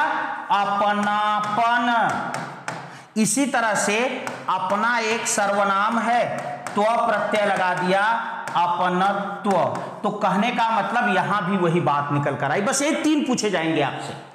तो ध्यान रखना बेटे, क्या कहा मैंने? किसी भी जातिवाचक संज्ञा में, किसी भी विशेषण में या किसी भी सर्वनाम, आगे होता है, क्रिया में भी होता है और अव्यय में भी पर क्रिया अव्यय कभी नहीं पूछा गया आपके यहाँ। ये तीन पूछे गए हैं। तो ध्यान रखना, अगर इनमें कोई प्रत्यय लगा दिया जाए तो वो भाववाचक संज्ञा है। ये चीज़ आपको प्रश्न सॉल्व करने में 99 परसेंट हेल्प कर देगी। 99 परसेंट आपका क्वेश्चन सही उत्तर निकल जाएगा। दूसरी चीज़, एक प्रश्न भाववाचक संज्ञा में और आता है, बहुत तेज़ी से। जैसे पूछा कि मानव की भाववाचक संज्ञा है मानव की भाववाचक संज्ञा। अब मानवता मानवता ऐसे करके दिया। तो सुनो बेटे, जब एक शब्द दे और कहे, इसकी भाववाचक संज्ञा कौन सी है? तो बस एक काम करना, क्या पता है? सीधा सीधा इसमें जो शुद्ध शब्द हो, उसी को टिक मार देना। कुछ सोचना ही नहीं, उत्तर सही हो जाएगा। जैसे पूछा मानव की भाववाचक संज्ञा है। मानवीय मानव, मानवता, मानवीयता, मानवता। तो सीधे सीधे इन चारों में मानव तो ऑलरेडी यहाँ प्रश्न में ही है और इन तीनों में जो शुद्ध शब्द है वो मानवता ही है। बाकी दोनों गलत है, मानवता टिक मारो, काम खत्म। तो बेटा, अगर ये चीज़ थोड़ा सा दिमाग में रखेंगे तो भाववाचक संज्ञा कभी गलत नहीं होगी। बात खत्म। आपके यहाँ ये तीनों संज्ञाएँ ही आती हैं, व्यक्ति, जाति और भाव। क्लियर हो गया? चलो बेटे, थोड़ा सा एक बार शेयर करें सारे लोग रुक करके तो। एक बार सारे लोग, रोटी। हाँ अब आप बताइए जरा सा रोटी कौन सी संज्ञा है? बताएँ, चल, आप लोग बताएँ जल्दी से। रोटी, देखिए हमारे एक भाई ने प्रश्न किया कि जो है, आ रोटी कौन सी संज्ञा है? ठीक है तो बताइए भैया। जल्दी करिए। चलिए देखो बेटे, पहली बात तो एक चीज़ याद रखना कि रोटी में एक कन्फ्यूज़न आ जाएगा। क्या कन्फ्यूज़न आएगा? अब मुझे आप जो है, आगे की संज्ञा पढ़ाने दो, फिर पढ़ा लेना। ठीक है? क्लियर कि उसका कारण है। आगे अपने आप, आपको ये उत्तर मिल जाएगा, सम देखना ही नहीं है। देखो बेटे, ये है हमारी समूहवाचक संज्ञा। अब आप यहाँ देख रहे होंगे, यह एक मेले का दृश्य है, यह एक अस्पताल का दृश्य है, और यह एक कक्षा का दृश्य है। अब आप सीधे सीधे ये समझ लो बेटा कि जहाँ भी जहाँ भी किसी निश्चित दायरे में, किसी निश्चित दायरे में काफ़ी संख्या में व्यक्ति व्यक्ति या वस्तु एकत्र हो, वो समूह है। और उस समूह का जो नाम है, वो समूहवाचक संज्ञा है। जैसे यहाँ इतने दायरे में टीचर और बच्चे उपस्थित हैं। तो यह एक समूह हो गया और इस समूह का नाम है कक्षा। तो कक्षा कैसी संज्ञा हो गई? समूहवाचक। यहाँ इस निश्चित दायरे में लाखों बेचने खरीदने वाले लोग एकत्र हैं। तो यह एक समूह हो गया, इसका नाम है मेला। ये निश्चित दायरे में तमाम पेशेंट डॉक्टर नर्स पूरा स्टाफ है, इसे क्या कहेंगे? अस्पताल। कहने का मतलब ध्यान रखना बेटे, अगर कोई ऐसा शब्द आपसे पूछा जाए, जो एक निश्चित दायरे में और कई का बोध कराए तो समझ लेना वो कैसी संज्ञा है? समूहवाचक संज्ञा।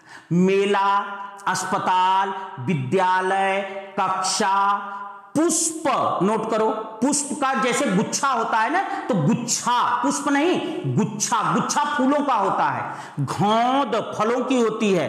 काफिला, कारवा, ठीक है? टुकड़ी टुकड़ी सेना की होती है। लश्कर लश्कर भी सेना है। राजा जब अपने सबके साथ चलता था, ठीक है? तो ये सब की सब हमारी क्या है? समूहवाचक संज्ञा है। बात स्पष्ट? नेक्स्ट चलते हैं द्रव्यवाचक संज्ञा। देखो बेटे, यहाँ तमाम चीज़ें दिख रही हैं आपको। आपको दिख रहा है, यह गेहूँ है यह दूध है, ये फल और सब्ज़ियाँ। अब यहीं से देखना, आप जो प्रश्न पूछ रहे थे बेटे, ये फल और सब्ज़ियाँ हैं। ध्यान देना, हम इसको भी क्या करते हैं? किलो में नापते हैं, क्विंटल में नापते हैं, इसको लीटर में नापते हैं, इसको भी किलो में नापते हैं। कहने का मतलब जिस संज्ञा को हम नाप या तौल सकते हैं, वो समूह, जो है द्रव्यवाचक संज्ञा है। जिसे नाप या तौल सकते हैं। अब देखो बेटे, रोटी को ना तो नाप सकते हैं, ना तौल। क्यों? क्यों मैंने रुका वहाँ? मैं क्यों रोटी नहीं बताया? क्योंकि कई बार लोगों को लगता है रोटी अनाज से बनी है और अनाज तो द्रव्यवाचक है, पर रोटी को नापते, तोलते थोड़ी। एक किलो रोटी लेते आना, एक पाव रोटी लेते आना, ये थोड़ी होता है।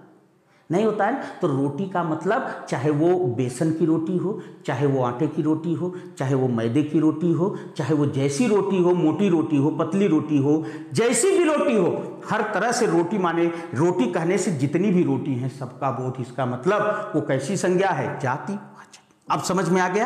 क्योंकि मैं क्यों रुका वहाँ? क्योंकि अनाज से बनती है रोटी तो कई बार लोग इस चीज़ को कंफ्यूज करा देते हैं कि अनाज से बनी अनाज को नापा तोला जाता है तो रोटी द्रव्य है। ना भैया अनाज सीधे सीधे द्रव्य का मतलब जिसे प्रत्यक्ष नाप या तोल सके। जैसे गेहूँ को नापते हैं, दूध को नापते हैं, फल, सब्जियों को नापते, तोलते हैं। ठीक है? तो कहने का मतलब जिसे नापा या तोला जा सके, वो द्रव्यवाचक है। स्पष्ट है आपके सामने चित्र, मामला स्पष्ट। ठीक है? चलो बेटे। संज्ञा। अब इसके बाद हम अगला टॉपिक शुरू करते हैं विशेषण। बहुत शार्ट कट में बेटा चूँकि बिल्कुल आप देख रहे होंगे कि बिल्कुल सीटेट ही लेकर मैं आया हूँ। क्योंकि इतने साठ में आपका जो लेवल है, बस उसी लेवल पर चलता जा रहा हूँ, यही नहीं। इसके बाद तो और आसान कर दूँगा यार। इसके बाद तो एक आध, एक टॉपिक तो ऐसा है न दोस्त, क्रिया विशेषण। मैं केवल चार लाइन लिख दूँगा, बस उसी में पूरा पाठ खत्म, कुछ सोचना, समझना ही नहीं है। बस दो टॉपिक और ध्यान रखें, फिर आपको जम के पढ़ाऊँगा गद्यांश पद्यांश ठीक है? चलिए तो जरा सा हम पानी पी लें एक बार।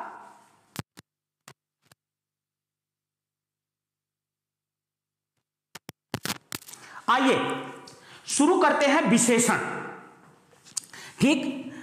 देखो यार, एक चीज़ ध्यान रखना बेटा। मुझे भी पता है, मुझे भी पता है कि मैंने कल जब जब बात आई व्याकरण के मैराथन की तो मैंने सर से कहा भी कि सीटेट में व्याकरण की भूमिका न के बराबर होती है। तो सर का एक स्टेटमेंट मुझे बहुत अच्छा लगा। उन्होंने कहा, विजय जी किसी दिन बिना नमक की दाल खाई है आपने? हम कहे हाँ सर। बोले, कैसी लगती है? हम कहे, सर, बिल्कुल अच्छी नहीं लगती। बोले, जो चीज़ दाल में नमक के बराबर है, अगर आप वह भी छोड़ देंगे तो भी हमारी सीटेट की जो कक्षाएँ हैं, वो बेस्वाद हो जाएँगी। इसलिए एक प्रश्न से मेरा बच्चा अंदर और बाहर होता है। एक प्रश्न से उसके हाथ में पे, पास और फेल की मार्कशीट होती है। तो यहाँ तो पाँच प्रश्न की आप बात कर रहे हैं। वही वही टॉपिक पढ़ा दीजिए मेरे बच्चों को और बिल्कुल शॉर्टकट में, जो सीटेट में क्वेश्चन आते हैं। इसलिए मैंने, देखो बेटे, प्रश्न भी का तमाम मैंने आपको ऊपर छोड़ दिया कि मेरे मुझसे पढ़कर जाइए और प्रश्न खुद से देख लीजिए। क्यों? क्योंकि अगर मैं क्वेश्चन लेता तो पचास क्वेश्चन लेता, एक घंटा और लग जाता। मुझसे पढ़कर जाइए और सीटेट के प्रश्नों में से, पेपर में से प्रश्न मिलाइए संग जो है आप व्याकरण के। अगर कहीं असुविधा आए तो सोचना कि गुरुजी फेल है, लेकिन नहीं आएगी। केवल कॉन्सेप्ट दिमाग में एक बार रख लिया तो कभी असुविधा आएगी ही नहीं यार। ना, बस एक काम और करना। एक बार जरा ज़ोर लगाओ सब लोग यार। एक बार ज़ोर लगाओ। देखो बेटे, बहुत देर से आप 35 पर रुके हैं। ठीक है, एक बात अच्छी है कि जितने मेरे भाई बहन है, वो इंटरेस्ट लेकर पढ़ रहे हैं। मेरे बच्चे इंटरेस्ट लेकर पढ़ रहे हैं। पर यार, पाँच हज़ार की तो बात और है। एक बार चालीस टका दो। एक बार चालीस टका दो, ज़ोर लगा दो यार। मैंने कहा ना, अभी लास्ट में एक क्वेश्चन एक चैप्टर तो मैं चार लाइन में खत्म कर दूँगा। आपको लगेगा कि दुनिया में कोई क्रिया विशेषण ऐसा पढ़ा सकता है। चार लाइन में पूरा पाठ खत्म। ठीक है, लेकिन थोड़ा सा आगे बढ़ के चलो बेटे, देखो बेटा, यहाँ हम देख रहे हैं एक घोड़ा। इस घोड़े का रंग क्या है? यहाँ हम क्या देख रहे हैं बेटे? एक घोड़ा देख रहे हैं। इस घोड़े का रंग क्या है? यह घोड़ा लाल है। यह घोड़ा है और घोड़ा क्या है बेटे? लाल है। एक आदमी देख रहे हैं। यह आदमी क्या है? यह आदमी लंबा है। यहाँ एक पेड़ देख रहे हैं। यह पेड़ हरा, बस आदमी ही देखिएगा। यहाँ एक पेड़ देख रहे हैं। यह पेड़ हरा है। कहने का मतलब घोड़ा घोड़ा कहने से दुनिया में जितने भी घोड़े हैं, सबका बोध, इसका मतलब घोड़ा जातिवाचक संज्ञा है। आदमी कहने से दुनिया में जितने भी आदमी हैं, सबका बोध, जातिवाचक संज्ञा है। पेड़ कहने से दुनिया में जितने भी पेड़ हैं, सबका बोध, जातिवाचक संज्ञा है। कहने का मतलब मेरे बच्चे, कि किसी भी संज्ञा की जो विशेषता होती है, घोड़े की विशेषता है कि वह लाल है। आदमी की विशेषता है कि वह लंबा है। और पेड़ की विशेषता है कि वो हरा है। इसका मतलब किसी भी संज्ञा की जो विशेषता होती है, उसे विशेषण कहते बात स्पष्ट हो गई।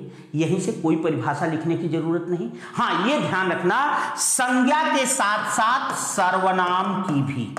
तो किसी भी संज्ञा या सर्वनाम की जो विशेषता होती है, उसे क्या कहते हैं? विशेषण कहते हैं। क्लियर? किसी भी संज्ञा या सर्वनाम की जो विशेषता होती है, उसे विशेषण कहते स्पष्ट चल जल्दी करो। चलिए, विशेषण के भेद। ध्यान देना बेटे, कुछ नहीं करना, कुछ नहीं करना। ये देखो, मैं लिख रहा हूँ, विशेषण। और सीटेट में विशेषण और संज्ञा से तो आएगा ही यार इसको कोई रोक नहीं सकता। विशेषण एक, दो, तीन, चार। अब कभी नहीं ज़िंदगी में भूलेगा। विशेषण के कितने भेद हैं? चार भेद। अगर अच्छा लगा तो शेयर करना। विशेषण एक, दो, तीन, चार। विशेषण के चार भेद हैं। कौन कौन से हैं बेटे? मैं बता दूँ आपको। नंबर एक, सार्वनामिक विशेषण। सुनो बेटे। नंबर एक, सार्वनामिक विशेषण। देखो बेटा, ध्यान रखना। सार्व, एक मिनट हो सकता है, नीचे लिखा भी हो। एक मिनट। हाँ ये देखो। सार्वनामिक विशेषण। ध्यान देना बेटे, कि सार्वनामिक शब्द सर्वनाम से बना है। कहने का मतलब जब कोई सर्वनाम विशेषण बन जाए तो सार्वनामिक विशेषण है। क्या पूछा गया? कहा, क्या गया बेटे? जब कोई सर्वनाम, जब कोई सर्वनाम विशेषण बने जब कोई सर्वनाम विशेषण बने तो उसे क्या कहेंगे? सार्वनामिक एक लाइन में बता दूँ? एक लाइन में? सुन लेना। पहले तो उदाहरण देता हूँ। जैसे, यह घोड़ा है। अब यहाँ देखो बेटे, घोड़ा शब्द संज्ञा है। और घोड़ा से पहले यह आया है। इसका मतलब यह घोड़ा है, यही घोड़ा है। यह घोड़े के सिवा दूसरा कुछ नहीं है। उसकी स्थिति को निश्चित कर रहा है और निश्चित करना ही विशेषता बन गई। इसका मतलब यहाँ यह शब्द घोड़े की क्या कर रहा है? विशेषता बना रहा है। ठीक है? तो ये विशेषण हो गया। घोड़ा संज्ञा की विशेषता बता रहा है तो क्या हो गया? विशेषण। और यह चूँकि विशेषता बता रहा है प्लस सर्वनाम भी है तो दोनों को मिला दिया तो क्या बन गया? सार्वनामिक विशेषण। क्लियर क्लियर हो गया बेटे? इसी तरह से यह वह तमाम जो है,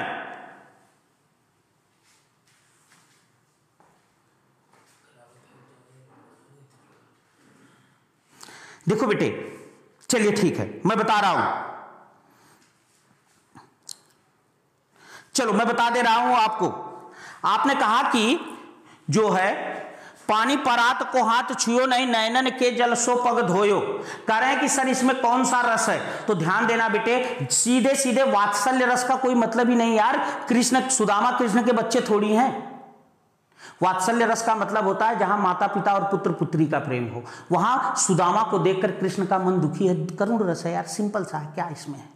ठीक है? चलो, अगर कोई कुछ इधर उधर बताता है तो समझो गलत बता रहा है। कुछ है ही नहीं सीधा सीधा करुण रस।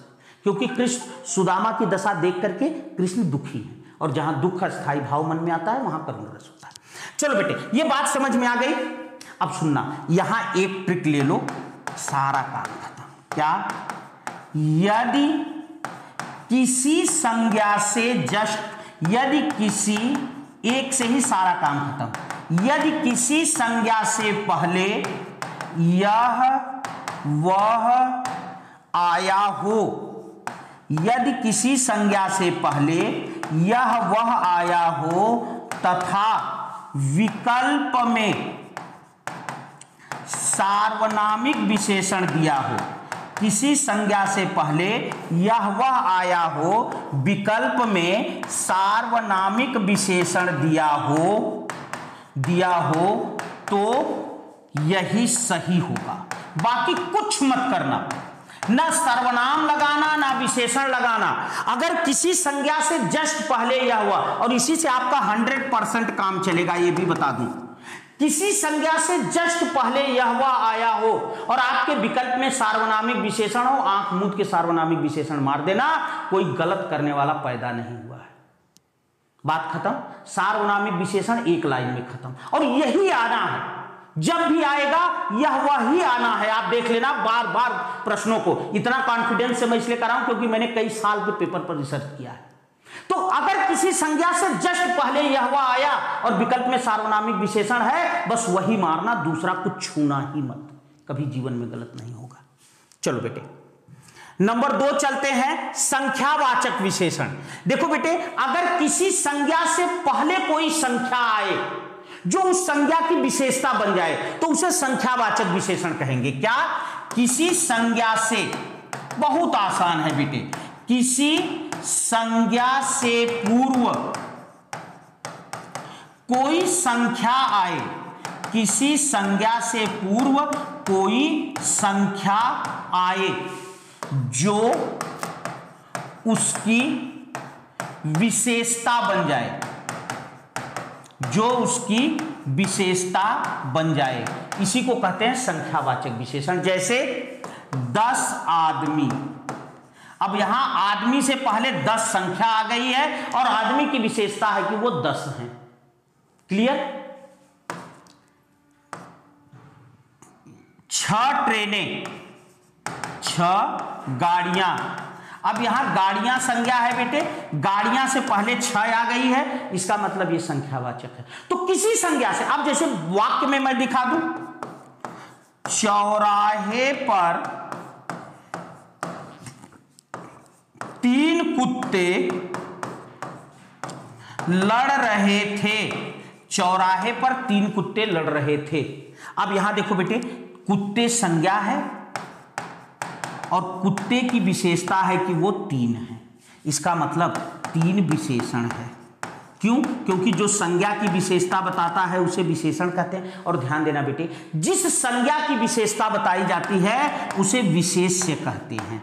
इसका मतलब यहाँ जो कुत्ते शब्द है, वो संज्ञा है और संज्ञा होने के कारण विशेष्य भी है। बात स्पष्ट। कहने का मतलब यदि वाक्य में किसी संज्ञा से पहले कोई संख्या आए वो उसका विशेषण बन जाए, उसकी विशेषता बनाए तो समझ लेना वो संख्यावाचक विशेषण है। और एक खास बात और ध्यान रखना बेटे, कि जो संज्ञा होगी उसे विशेष से कहेंगे और जो संख्या होगी उसे विशेषण कहेंगे। तो ये भी याद रखना, विशेष से विशेषण भी पूछता है, निम्न में कौन विशेष से है, निम्न में कौन विशेषण है? तो जो किसी की विशेषता बता सके किसी संज्ञा की, वो विशेषण, अगर एक ही चारों शब्द दिया और पूछा विशेषण तो सबके साथ एक एक संज्ञा लगाना। जो संज्ञा की सही विशेषता बन जाए वही विशेषण है। और अगर पूछा निम्न में विशेष से कौन है तो सबके साथ एक एक विशेषण लगाना, जो विशेषण जिसकी विशेषता बन जाए, वो विशेष से है। बहुत आसान है। ठीक है? देखो बेटे, संख्या निश्चित भी हो सकती है, अनिश्चित भी हो सकती है। इसीलिए संख्यावाचक विशेषण दो तरह के होते हैं, निश्चित संख्यावाचक, अनिश्चित संख्यावाचक। निश्चित संख्या मतलब जब संख्या फिक्स हो, जैसे तीन कुत्ते, संख्या फिक्स है। लेकिन अगर कहा जाए कुछ कुत्ते मतलब तीन, चार, पाँच छ दो, कुछ भी हो सकते हैं। तो जब संख्या निश्चित हो तो निश्चित संख्यावाचक और जब संख्या अनिश्चित हो तो अनिश्चित संख्यावाचक ठीक है? क्लियर चल। अगला, परिमाण। परिमाण का मतलब ही होता है बेटे नाप तौल परिमाण का मतलब क्या होता है? नाप तौल कहने का मतलब है, जिस विशेषण को नापा या तोला जाए, या ये कहिए कि वह संज्ञा के पहले यदि कोई ऐसी इकाई आए जो नाप तौल की हो तो समझ लेना वो परिमाणवाचक है। बहुत आसान है। क्या? यदि संज्ञा से पहले, यदि संज्ञा से पहले कोई नाप तौल की इकाई आए संज्ञा से पहले कोई नाप तौल की इकाई। संज्ञा से पहले कोई नाप तौल की इकाई आए तो वह परिमाणवाचक विशेषण होती है। तो वह परिमाणवाचक क्या होती है? तो वह परिमाणवाचक विशेषण होती है। संज्ञा से पहले कोई नाप तौल की इकाई आ जाए, जैसे दो किलो अमरूद। दो किलो अमरूद। अब आप यहाँ देखिए, अमरूद की संख्या कितनी? अमरूद जो है, इससे पहले दो किलो आया और दो किलो नाप तोल है। और ये अमरूद की विशेषता है कि दो किलो है वो। तो सीधी सी बात है, परिमाण है। नंबर दो, जैसे हम कहें, जो है, अगर तीन पाव लड्डू। अब यहाँ भी देख लो बेटे तीन पाव, चूँकि यहाँ तीन आते ही लोगों को लगता है संख्या नहीं, लेकिन इसके साथ पाव लगाए, पाव माने नापतोल की इकाई। तो लड्डू की विशेषता है कि वो तीन पाव है, और तीन पाव क्या है बेटे? नापतोल है, इसलिए इसको क्या कहेंगे? परिमाण। तो सीधी सी बात है, किसी संज्ञा के पहले यदि कोई नापतोल की इकाई लग जाए तो समझना वो परिमाणवाचक विशेषण है, और वह संज्ञा क्या हो जाएगी? वह संज्ञा विशेष हो जाएगी। जैसे जैसे दुकानदार ने आठ मीटर कपड़ा बेचा अब कपड़े की विशेषता है कि वो आठ मीटर है और आठ मीटर नाप की इकाई है। तो सीधी सी बात है कि आठ मीटर कपड़े की विशेषता है, कपड़ा विशेष से आठ आठ मीटर विशेषण है। कैसा विशेषण है? परिमाणवाचक, क्योंकि नाप तौल है। बात स्पष्ट? अच्छा ये भी देखना, परिमाण भी निश्चित और अनिश्चित दोनों हो सकता है बेटे। कैसे? निश्चित परिमाण का मतलब जैसे ये कहा आपने, दो किलो, तीन पाव। अब ये न इससे कम हो सकता है, न इससे ज़्यादा। लेकिन अगर हम कह दें, कुछ किलो अमरूद कुछ पाव लड्डू। तो ये क्या है? ये अनिश्चित है। क्यों? क्योंकि कुछ किलो का मतलब दो किलो, चार किलो, एक जो है, पाँच किलो भी हो सकता है। कुछ पाव माने दो पाव, एक पाव, तीन पाव, कुछ भी हो सकता है। तो कहने का मतलब है कि ये क्या हो जाएगा? परिमाणवाचक। क्लियर? और निश्चित और अनिश्चित। दोनों? चलो स्क्रीनशॉट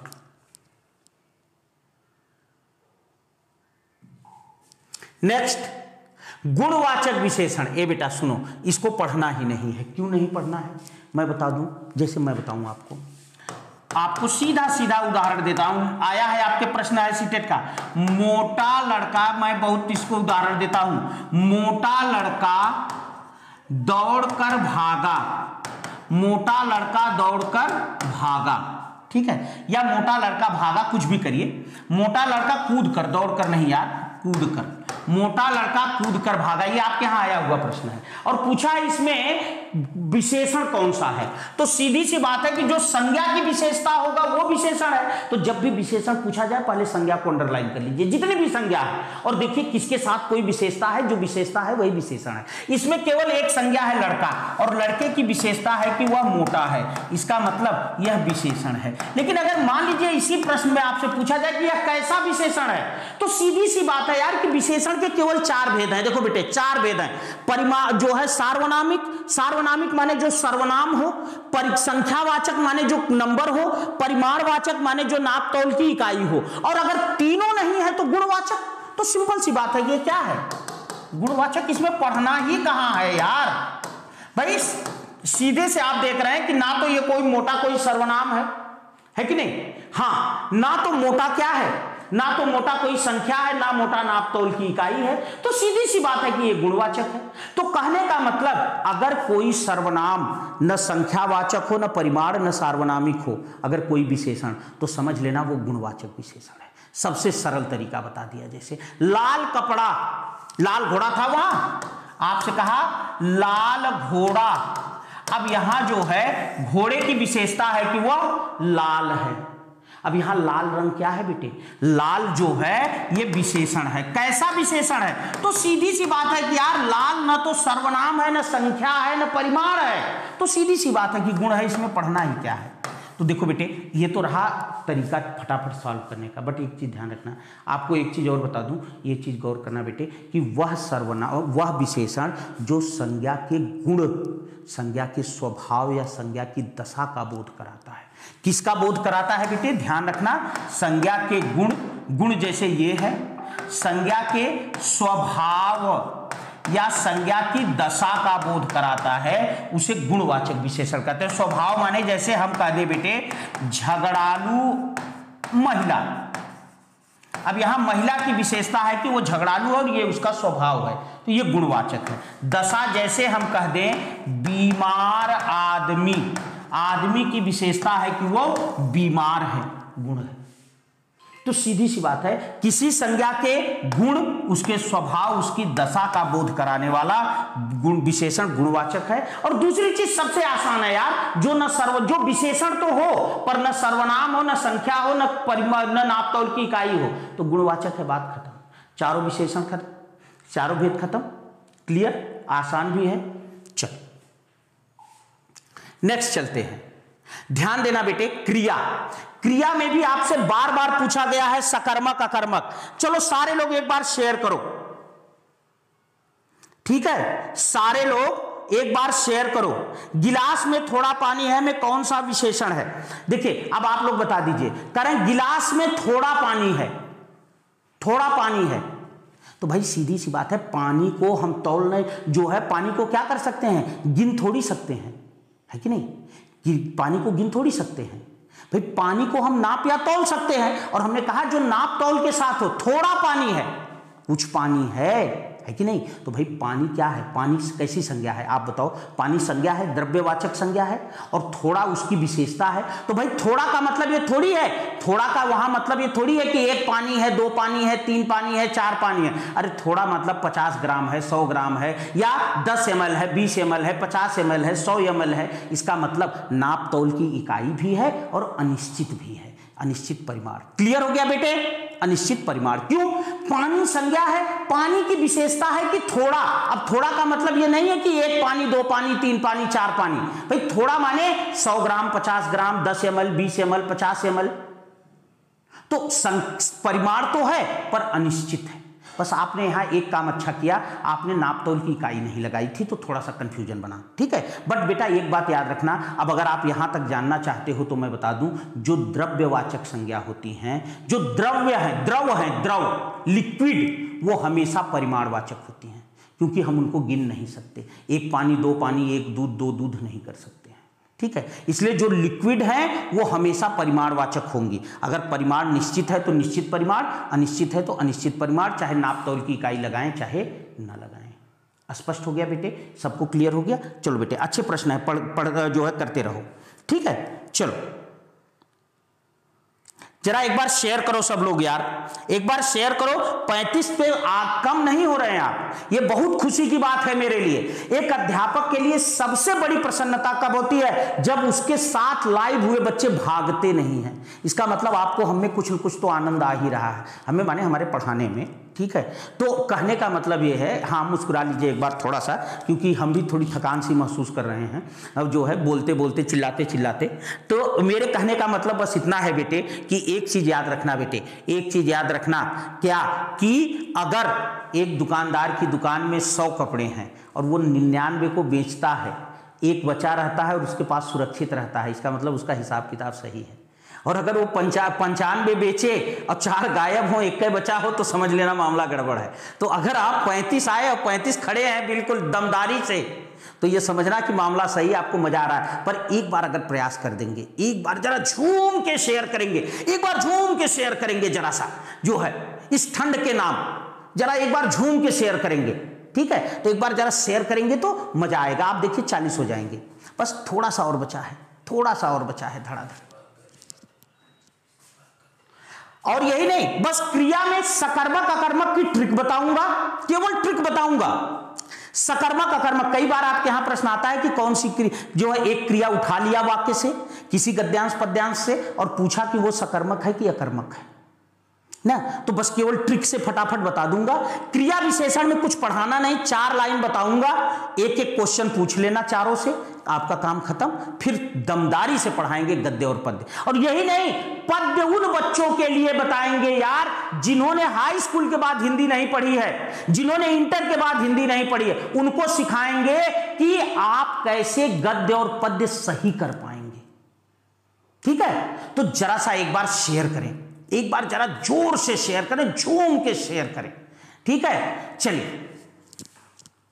देखो बेटे, क्रिया का सीधा मतलब होता है, क्रिया का सीधा मतलब होता है कार्य।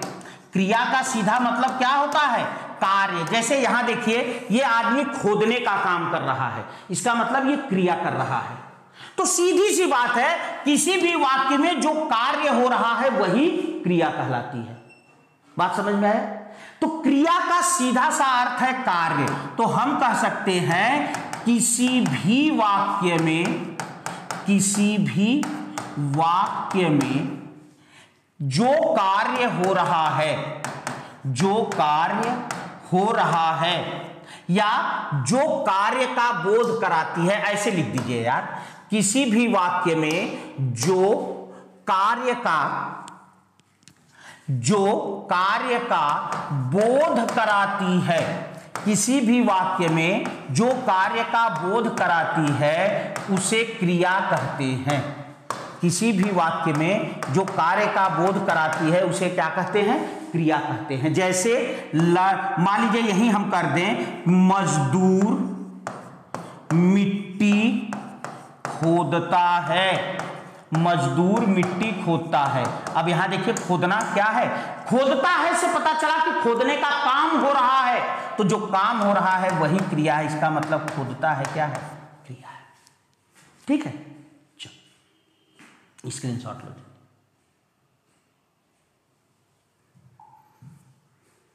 देखिए, अब यहाँ हाँ एक बात और भेद करते हैं। चलो। यहाँ थोड़ा सा एक चीज़ और व्याख्या करते हैं प्रयोग के आधार पर क्रिया के भेद। प्रयोग या कर्म के आधार पर, प्रयोग या कर्म के आधार पर क्रिया के भेद। यहीं से एक प्रश्न आएगा, क्या कर्म के आधार पर दो भेद होते हैं बेटे? सकर्मक क्रिया और अकर्मक क्रिया। ओके? सकर्मक जिस क्रिया में कर्म हो, जिस क्रिया में कर्म हो, वह सकर्मक है। और जिस क्रिया में कर्म न हो, वो क्या है? अकर्मक है।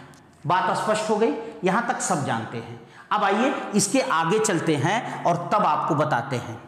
कि असली लड़ाई कहाँ है? सकर्मक क्रिया। जैसे देखो बेटे, ये स्कूल का चित्र है। अब यहाँ देखो, ये बच्चा स्कूल जा रहा है। ये बच्चा क्या कर रहा है? ये बच्चा स्कूल जा रहा है। ये बच्चे स्कूल में बैठे हैं। तो सीधी सी बात है यार कि अगर बच, जैसे अब आपको वाक्य दिया, बालक विद्यालय जाता है। बालक विद्यालय जाता है। आपसे पूछा कि यह सकर्मक है कि अकर्मक है? सकर्मक है कि अकर्मक है?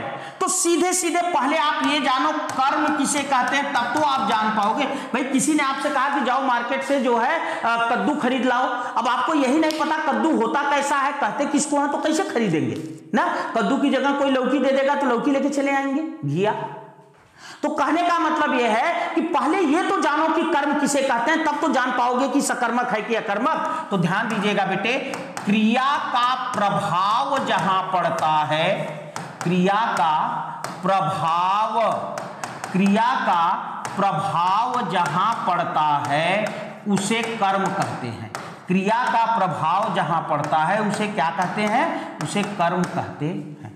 अब देखो जैसे बालक विद्यालय जाता है तो जाने का प्रभाव कहाँ है? विद्यालय पर क्यों? अब देखिए, जैसे ये बच्चे विद्यालय आ गए हैं, अभी भैया मैडम पढ़ा रही हैं तो ये बैठ के पढ़ रहे हैं। अब इन्होंने यहाँ पैर रखा, हो सकता है पैर रखने में टूट भी जाए, यहाँ सारी इनके पैर की मिट्टी लगेगी। कहने का मतलब विद्यालय में क्या है, ये सब देख रहे हैं। कहने का मतलब ये कहीं ना कहीं देखो, आपके लिए मैंने चित्र इसीलिए रखा कि ये स्कूल को प्रभावित कर रहे हैं।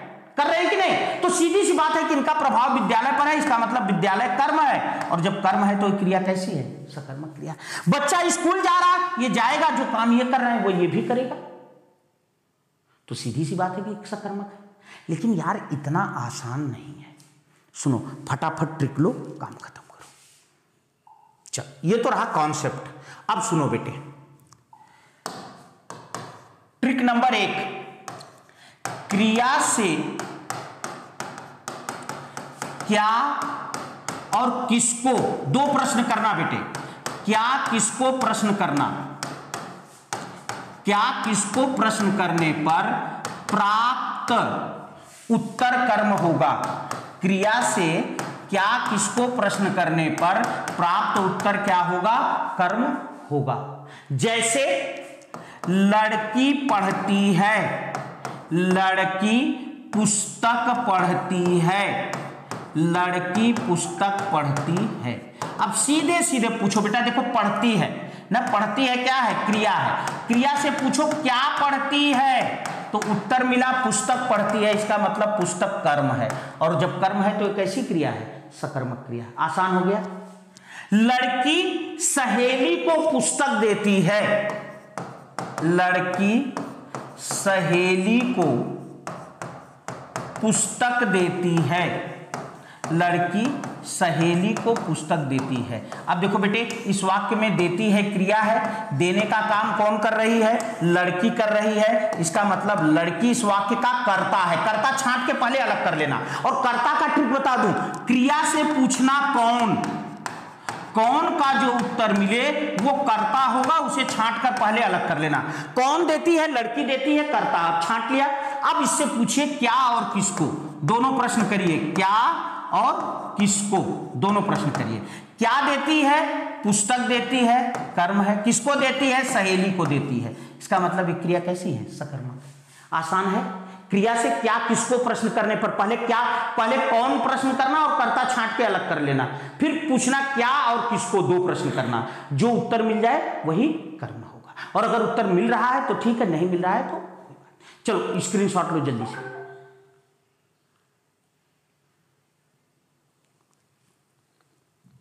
दूसरा पॉइंट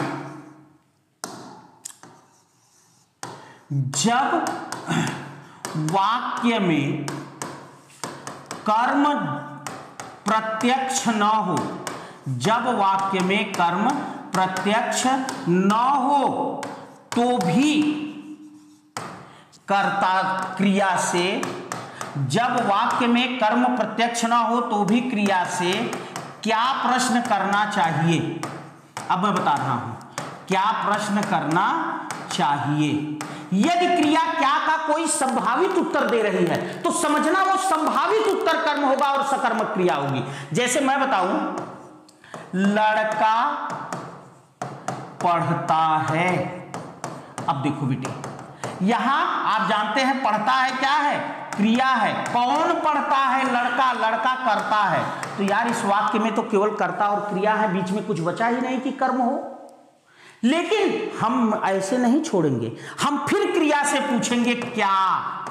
क्या पढ़ता है? तो क्रिया कहेगी कि पुस्तक पढ़ता है। क्रिया कहेगी, समाचार पत्र पढ़ता है। क्रिया कहेगी, कुछ भी पढ़ता है, चिट्ठी पढ़ता है। अब तो जमाना ही नहीं रहा, नहीं तो चिट्ठी पढ़ने का आनंद ही कुछ और था, रस कुछ और था। खैर, पुस्तक पढ़ता है, समाचार पत्र पढ़ता है तो मेरे कहने का मतलब है बेटे कि यहाँ जो पुस्तक और समाचार पत्र हैं, इन्हें संभावित कर्म कहा जाता है और ऐसी क्रिया सकर्मक क्रिया होती है। तो बात समझ गए? तो ऐसा मत करना कि ये देखना कि वाक्य में कर्म दिख रहा है, तभी सकर्मक है। अगर वाक्य में कर्म नहीं है, तब भी सकर्मक हो सकती है। बस क्रिया से क्या पूछना? अगर क्रिया कर्ता हटाने के बाद क्या का कोई उत्तर दे पाए तो वो समझ लेना क्या कि वो संभावित कर्म है और ऐसी क्रिया सकर्मक है। एक बात और, तीसरा। यदि कर्ता कार्य स्वयं नहीं कर सकता है। यदि कर्ता कार्य स्वयं नहीं कर सकता है, बस लास्ट पॉइंट है इसके बाद तो वह कर्ता न होकर कर्म होगा। बेटा, इसके न, इसके आने पर ना अच्छे अच्छे गुरुजी जो है पर पसीना फेंक देते हैं। जैसे मैं उदाहरण दूँ आपको, सुनना। गाड़ी चलती है आप जानते हैं बार बार लोग कहते हैं कि इस वाक्य में चलना क्रिया है और चलने का काम जो करता है, जो कार्य को करता है, वो करता होता है। तो लोग कहते हैं, चलने का काम गाड़ी कर रही इसलिए गाड़ी करता है और क्या चलती है, कोई उत्तर नहीं। क्यों? क्योंकि गाड़ी तो करता हो गई। ये अकर्मक है, पर गलत है बेटे। एक बात मुझे बताओ, क्या गाड़ी खुद से चल सकती है? इसीलिए मैंने कहा कि यदि कर्ता कार्य स्वयं नहीं कर सकता तो वो कर्ता होगा ही नहीं, वो कर्म होगा। यहाँ गाड़ी करता है ही नहीं बेटे, यहाँ गाड़ी कर्म है। क्यों? क्योंकि गाड़ी खुद से नहीं चल सकती है। अगर खुद से चल सकती तो आज आप अपने बाउंड्री में खड़े करते, कल जाके दूसरे के बाउंड्री में खड़ी रहती। ना? तो कहने का मतलब यह है बेटे कि गाड़ी खुद से नहीं चल सकती। इसलिए गाड़ी पक्का कोई चला रहा है और जो चला रहा है वो करता होगा, क्योंकि वास्तविक काम तो वो कर रहा है। तो कहने का मतलब अगर कोई ऐसा वाक्य आए जिसका कर्ता, जो आपको कर्ता लगता हो, लेकिन वह उस काम को स्वयं करने में सक्षम न हो तो समझ लेना वो करता नहीं है कर्म है। जैसे गेहूँ पिसा जाता है। अब इस वाक्य में पिसा जाता है क्रिया है, और पिसने का काम कौन कर रहा है? गेहूँ कर रहा है। तो लोगों को लगता है कि पिसने का काम गेहूँ कर रहा है, इसलिए गेहूँ करता है। ना भैया, यार गेहूँ खुद से थोड़ी पिस सकता है। अगर खुद से पिस सकता तो आप पचास बोरा गेहूँ घर में रखें, अगले दिन पचास बोरा आटा घर में मिलता। गेहूँ खुद से नहीं पीस सकता। गेहूँ पिसा जाता है, इसका मतलब कोई उसे पीस रहा है, और जो पीस रहा है, वो करता होगा। गेहूँ कर्म। तो अगर कोई काम ऐसा हो रहा है, जिसको करने वाला, जो आपको लग रहा है कि ये कर रहा है, लेकिन वह करने वाला, अगर आपको ये लगे कि यह करने वाला जो है, वो खुद से नहीं कर सकता है तो समझ लेना वो करता नहीं है, कर्म है, और ऐसी क्रिया सकर्मक है। बहुत इतना सरल कोई इसे बता नहीं सकता। Last point yes last point एक मिनट।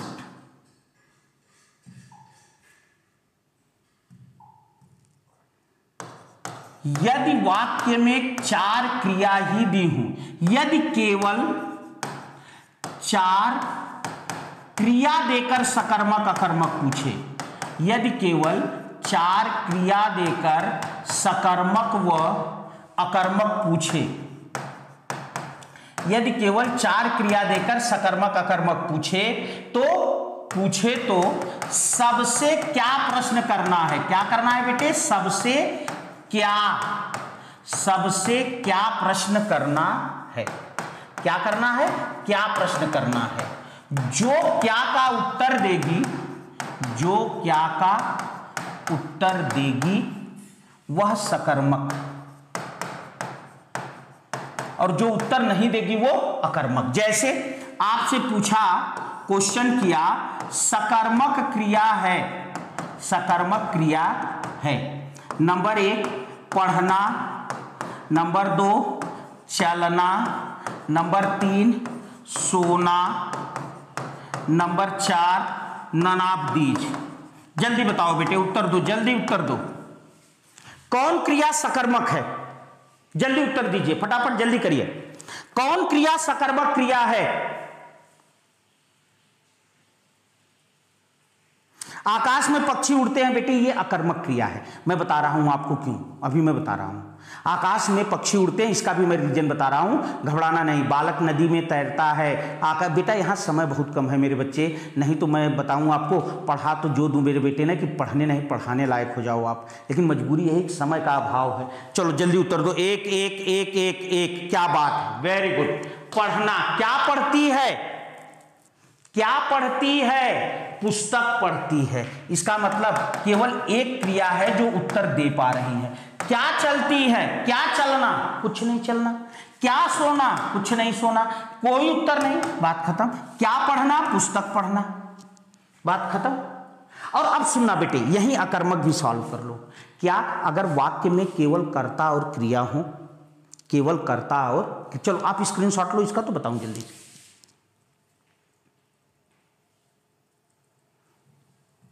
चलो। अकर्मक। यदि वाक्य में, यदि वाक्य में केवल कर्ता और क्रिया हो, यदि वाक्य में केवल कर्ता और क्रिया हो तथा क्रिया क्या का उत्तर न दे पाए, क्या का उत्तर न दे पाए तो अकर्मक क्रिया होगी। जैसे मैं बताऊँ, लड़का सोता है। लड़का सोता है। अब यहाँ सोना क्या है? क्रिया है। सोने का काम कौन कर रहा है? लड़का कर रहा है। इसका मतलब लड़का इस वाक्य का क्या है? करता है। क्या सोता है? कोई उत्तर नहीं। इसका मतलब यह क्रिया कैसी है? अकर्मक क्रिया है। ना? लड़की टहलती है। लड़की टहलती है। कौन टहलती है? लड़की। लड़की करता है, टहलना क्रिया है। क्रिया से पूछा, क्या टहलती है? कोई उत्तर नहीं। इसका मतलब ये कैसी क्रिया है? सिंपल सी बात। चारों में मैंने बता दिया कि जो क्या का उत्तर वहाँ भी दे पाए, वो सकर्मक नहीं दे पाए, अकर्मक। तो ये रहा आपका क्रिया। ओके, चलो।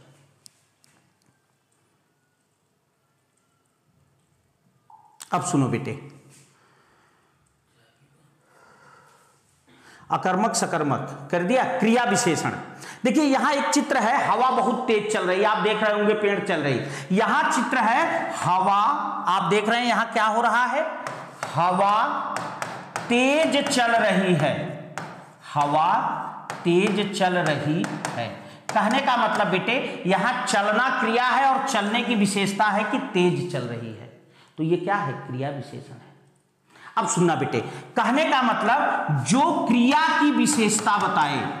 क्या बताए बेटे? जो क्रिया की विशेषता, जो क्रिया की विशेषता बताए, वो क्या होता है? क्रिया विशेषण होता है।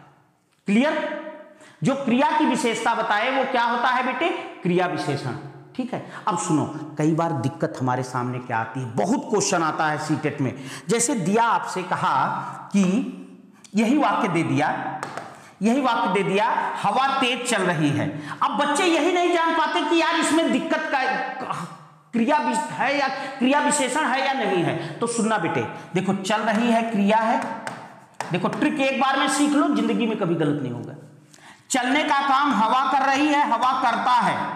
अब सुनो बेटे कर्ता और क्रिया के बीच में फंसा है तेज। अब आपको देखना है कि क्या तेज क्रिया विशेषण है या नहीं। तो बस एक काम करना। एक बार ऐसे पढ़ना और एक बार ऐसे पढ़ना। अगर ये इसके साथ शुद्ध लगे तो समझना क्रिया विशेषण है और इसके साथ शुद्ध लगे तो समझना क्रिया विशेषण नहीं है। जैसे हवा तेज या तेज चल रही है तो आप कहेंगे, सर, तेज चल रही है, ज़्यादा सही लग रहा है। तो कहने का मतलब तेज विशेषण क्रिया विशेषण है। बात समझ में आई? अगर अच्छा लगा हो तो एक बार शेयर करना बेटे। समझ में आई बात? चलो, आगे मैं और थोड़ा सा लेता हूँ। अच्छा एक मिनट, रुको। चलो, यही समझाता हूँ, दूसरा पॉइंट लेकर आपको। ये जगह तो है मेरे पास, बहुत जगह है। चलो, जैसे मैंने कहा, माँ जल्दी जल्दी, माँ जल्दी जल्दी सब्ज़ी काटती हैं। माँ जल्दी जल्दी सब्ज़ी काटती हैं। अब आपसे पूछा इस वाक्य में क्रिया विशेषण कौन सा है? अब आपने देखा, इतना तो आपको पता है कि काटना क्रिया है। काटने का काम कौन कर रही है? माँ कर रही है। माँ इस वाक्य का करता है। अब जल्दी जल्दी सब्ज़ी हटा देना बेटे। माँ जल्दी जल्दी काटती है, बस केवल ये रखना। अब आप देखो यहाँ जल्दी जल्दी फंसा है। अब आपको पूछ रहा है कि क्रिया विशेषण तो आपको यह देखना है कि यह क्रिया विशेषण है या नहीं है। तो बस एक काम करना, माँ जल्दी जल्दी जल्दी जल्दी काटती हैं। जल्दी जल्दी काटती हैं, ये ज़्यादा सही लग रहा है। अगर जल्दी जल्दी काटती हैं, ज़्यादा सही लग रहा है, इसका मतलब कंफर्म है कि जल्दी जल्दी क्रिया विशेषण है, कोई गलत नहीं कर सकता। ट्रिक याद हो गई? एक बार यहाँ, एक बार यहाँ। अगर अच्छी लगी हो तो शेयर करना। दूसरी चीज़, एक लास्ट पॉइंट समझ लेना, बस इसके बाद व्याकरण का मैटर यहीं क्लोज हो जाएगा, फिर हम गद्यांश पद्यांश शुरू कर देंगे, जिसका आप बहुत देर से इंतज़ार कर रहे हैं, मुझे भी पता है। सांप और न्योले की असली लड़ाई वाला काम, जैसे मदारी है ना, वो सांप और न्योले की लड़ाई कह के पूरा खेला दिखा ले जाता है अपना। लेकिन उसके यहाँ लास्ट में होती नहीं, हमारे यहाँ होगी, बस ये ध्यान रखना। न, व्याकरण, यार मेरे दोस्त, इतने कम समय में इतना बड़ा व्याकरण समेट लेना, यही इतना अगर आप मुझसे ऑफलाइन में ऑनलाइन में पढ़ते हैं ऐप पर तो यही इतना मैं पढ़ाता हूँ कम से कम एक महीना, डेढ़ महीना में। और यार उसको दो घंटे में समेटना बहुत बड़ा रिस्क लेना है और बड़ी दिमाग लगाना है। लेकिन मेरे बच्चे, मैंने प्रयास किया, अब मेरी प्रयास की सफलता और असफलता दोनों आप हो। यदि आप कर ले आए तो समझो हम पास। बस, आगे आप जानो। सुन ले बेटा, बस एक बात ध्यान रखना। क्रिया से पहले, सुनो, चलो, इसको ले लो स्क्रीनशॉट जल्दी तो। मार बेटा लास्ट चल मेरे बच्चे लास्ट काम। यदि चारों नहीं पढ़ाऊँगा, एक चार लाइन में बता दूँगा, खत्म। यदि क्रिया से तुरंत पहले, यदि क्रिया से तुरंत पहले, संज्ञा, सर्वनाम, यदि क्रिया से तुरंत पहले, संज्ञा, सर्वनाम, विशेषण और क्रिया को छोड़कर मतलब ये चारों नहीं आने चाहिए, न संज्ञा, न सर्वनाम, न विशेषण, न क्रिया, को छोड़कर कोई अन्य शब्द आया हो, कोई अन्य शब्द, कोई अन्य शब्द आया हो और वह क्रिया से जुड़ता हो, वह क्रिया से जुड़ता हो तो क्रिया विशेषण है। तो क्रिया विशेषण है। जैसे मैं उदाहरण दूँ, गाड़ी दाहिने मुड़ी अब देखो बेटे, इस वाक्य में मुड़ना क्रिया है, मुड़ने का काम गाड़ी कर रही है, गाड़ी करता है। कर्ता और क्रिया के बीच में आया दाहिने। तुरंत आपने देखा दाहिने दाहिने मुड़ी। इसका मतलब दाहिने मुड़ी ज़्यादा सही लग रहा है, इसका मतलब दाहिने मुड़ी, दाहिने क्रिया विशेषण। है लेकिन आप ये देख लेना कि ये कहीं कोई संज्ञा तो नहीं, कोई सर्वनाम तो नहीं, कोई विशेषण तो नहीं, कोई क्रिया तो नहीं। अगर संज्ञा, सर्वनाम, विशेषण और क्रिया नहीं है तो समझ लेना हंड्रेड परसेंट क्रिया विशेषण, इससे सरल कुछ हो ही नहीं सकता। खट खट। ठीक है? चल।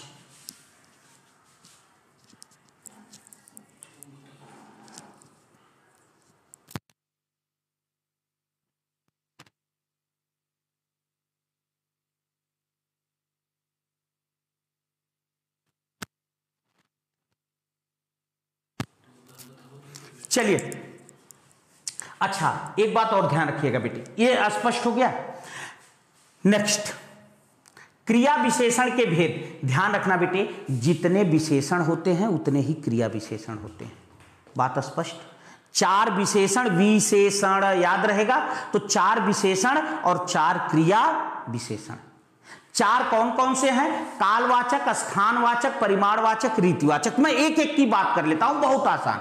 देखो बेटे, जब कोई शब्द क्रिया विशेषण हो, प्लस समय का भी बोध कराए मतलब कोई शब्द क्या हो बेटे? ध्यान रखना, कुछ नहीं, मैंने कहा चार लाइन में तो चार लाइन में खत्म करूँगा। कोई शब्द क्रिया विशेषण हो और प्लस वह समय का भी बोध कराए तो कालवाचक, जैसे लड़का तुरंत चला गया, लड़का तुरंत चला गया। अब देखो बेटे, चला गया क्रिया है कौन चला गया? लड़का करता है। लड़का तुरंत तुरंत चला गया। इसका मतलब ये क्रिया विशेषण है। क्यों क्रिया विशेषण है? क्योंकि ये संज्ञा सर्वनाम इनमें नहीं है। लेकिन कैसा है? तो तुरंत माने समय का बोध। बात स्पष्ट? अब सुनो बेटे, मैंने कहा चार लाइन कहा था ना तो केवल चार लाइन। चार लाइन भाई देखिए, संख्या बढ़ाइएगा। मैं पहले बता दे रहा हूँ। सरकार कहती है, संख्या घटाइए। गुरुजी कहते हैं, संख्या बढ़ाइए। लेकिन हमारे और उनकी संख्या में अंतर है। आप अच्छी तरह से जान रहे हैं। तो हमारी वाली बढ़ाइए, उनकी वाली आपकी मर्ज़ी। ठीक है? चलो बेटे, ध्यान रखना। ध्यान रखना। तुरंत चला गया। समझ गए? अब एक ट्रिक ले लो। क्या? क्रिया से, बस लास्ट, एक लाइन में। क्रिया से कब कब? क्रिया से कब प्रश्न करने पर प्राप्त उत्तर? क्रिया से कब प्रश्न करने पर प्राप्त उत्तर? कालवाचक क्रिया विशेषण होगा। बात खत्म यार, एक लाइन में खत्म, बस। जाओ। क्या कहा? कहा, क्रिया से पूछिएगा कब? अगर कब का क्रिया जो उत्तर देगी वो कालवाचक, कब चला गया? तुरंत चला गया। गाड़ी परसों जाएगी, कब जाएगी? परसों जाएगी। लड़के अभी अभी आए हैं। कब आए हैं? अभी अभी आए हैं। तो कहने का मतलब एक लाइन में खत्म। कुछ जान, ये तो मैंने दो बातें इसलिए बता दी कि ये भी तो जानो कालवाचक कहते किसको है। बस एक लाइन में खत्म कि क्रिया से पूछना कब। अगर क्रिया कब का उत्तर देती है तो कालवाचक क्रिया विशेषण है। अगर अच्छा लगा हो तो एक बार ज़रूर शेयर करिएगा, एक बार फिर से उत्साह लाइए जरा सा। एक बार फिर से उत्साह लाइए। जो है, समझिए कि आग बुझने वाली थी तो नई लकड़ी रख दी। एक बार जलाइए फिर से। एक बार फिर से उत्साह लाइए। चलिए, कालवाचक हो गया। स्क्रीन शॉट लीजिए। ये ये बेटा मैं गा, आपको विश्वास से कहता हूँ, इतना सरल ट्रिक दुनिया में कोई दे नहीं सकता। कोई नहीं दे सकता। कहीं देख लेना, किसी को। अगर एक लाइन में क्रिया विशेषण का एक भेद खत्म कर दे तो बताना। मैंने कहा, कुछ नहीं करना। क्रिया से पूछो कब। अगर कब का क्रिया कोई उत्तर दी तो कालवाचक। खत्म। नंबर दो स्थानवाचक स्थानवाचक का मतलब है बेटे कि कोई शब्द जो क्रिया विशेषण हो प्लस किसी स्थान का बोध कराए। तो समझ लेना, वो स्थानवाचक क्रिया विशेषण है। जैसे मोहन, दाहिने मुड़ा। मोहन, दाहिने मुड़ा। अब यहाँ मुड़ना क्रिया है। कौन मुड़ा? मोहन। मोहन करता है। मोहन दाहिने दाहिने मुड़ा। इसका मतलब कंफर्म है कि यह क्रिया विशेषण है, क्योंकि एक संज्ञा सर्वनाम में भी नहीं है। अब देखिए, सीधी सी बात है। सीधे सीधे पूछिए, कहा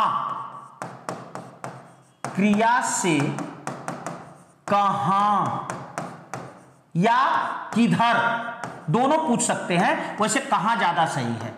प्रश्न करने पर, प्रश्न करने पर प्राप्त उत्तर। प्राप्त उत्तर क्या है? स्थानवाचक क्रिया विशेषण है। बात समझ गए? कहा मुड़ा? दाहिने मुड़ा। किधर मुड़ा? दाहिने मुड़ा। पानी बाहर बहता रहा। कहाँ बहता रहा? बाहर बहता रहा। है कि नहीं? पानी बाहर बहता रहा। ठीक है? सड़क दूर तक जाती है। कहाँ जाती है? दूर तक जाती है। तो सीधे सीधे कहाँ? खत्म। चलो स्क्रीनशॉट यार देखो, कितना आसान कर दिया। इतना आसान तो कहीं नहीं हो सकता भैया। परिमाण परिमाण का मतलब होता है बेटे मात्रा। मतलब जो शब्द क्रिया विशेषण हो और प्लस क्रिया की मात्रा का भी बोध कराए। वो परिमाणवाचक क्रिया विशेषण कहलाता है। जैसे मैं बताऊँ आपको, लड़का बहुत खाता है।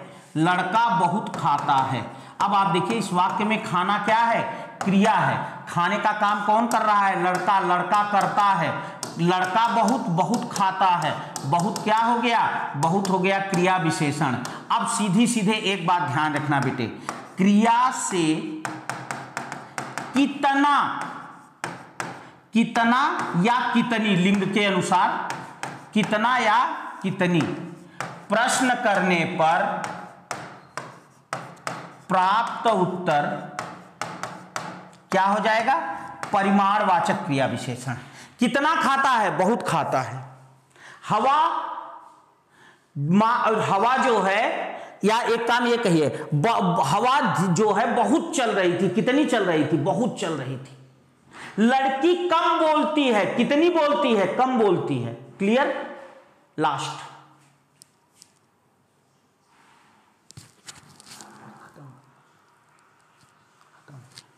लास्ट रीतिवाचक क्रिया विशेषण। ध्यान देना। रीति का मतलब होता है, बेटे, रीति का मतलब होता है कार्य करने का तरीका। कार्य करने का तरीका। ठीक है? तो कहने का मतलब यह है कि जब कोई शब्द क्रिया की विशेषता बताए, प्लस कार्य करने का तरीका बताए तो समझ लेना वो क्या है? रीतिवाचक। जैसे माँ जल्दी जल्दी चलती हैं। अब यहाँ जल्दी जल्दी का ये कतई मतलब नहीं कि ज़्यादा चलती हैं। माँ जल्दी जल्दी जल्दी जल्दी चलती हैं। क्रिया विशेषण हो गया। अब कैसा क्रिया विशेषण है? तो सीधी सी बात है कि प्रश्न कर लेना बेटे, क्या, कि किस प्रकार या कैसे? किस प्रकार या कैसे प्रश्न? किससे? अब आप इतना समझ गए हैं। क्रिया से। कैसे चलती हैं? जल्दी जल्दी चलती हैं। किस प्रकार चलती हैं? जल्दी जल्दी चलती हैं। ना? गांधी जी तेज चलते थे। गांधी जी तेज चलते थे। कैसे चलते थे? तेज चलते थे। गांधी जी तेज तेज चलते थे। ठीक है? चारों खत्म? चारों खत्म बेटे।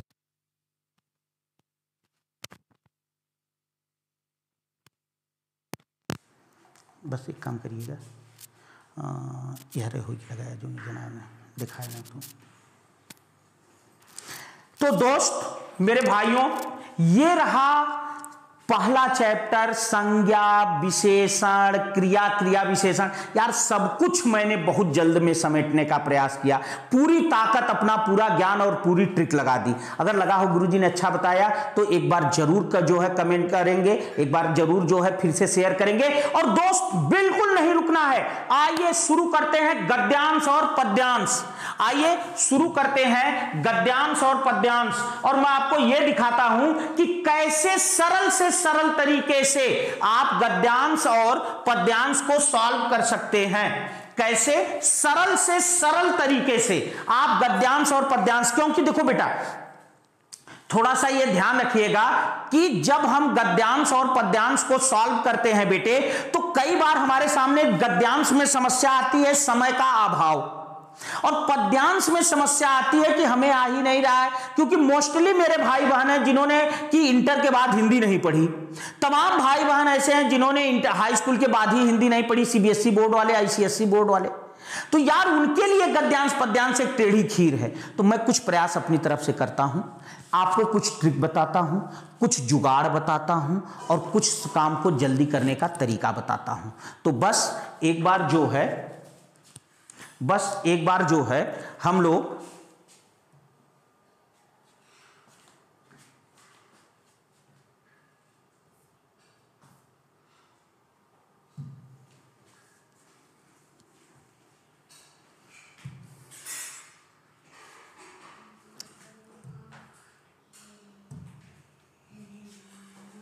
चलिए।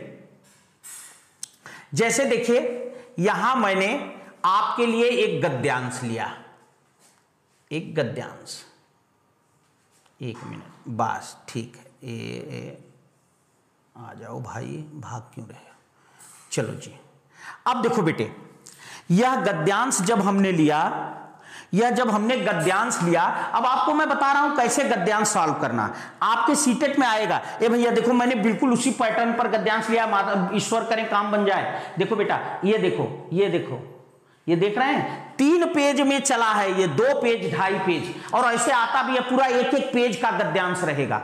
जब एक एक पेज का गद्यांश रहेगा तो आप करेंगे कैसे? सुनो बेटा, समय बचाना है और काम भी करना है। देखो, गद्यांश में ये तय है कि अगर पाँच क्वेश्चन या छह क्वेश्चन दे रहे हैं कभी कभी सात क्वेश्चन भी हो सकता है। तो ये तय है कि उसमें अगर सात हुआ तो दो क्वेश्चन व्याकरण के होंगे। दो क्वेश्चन किसके होंगे बेटे? दो क्वेश्चन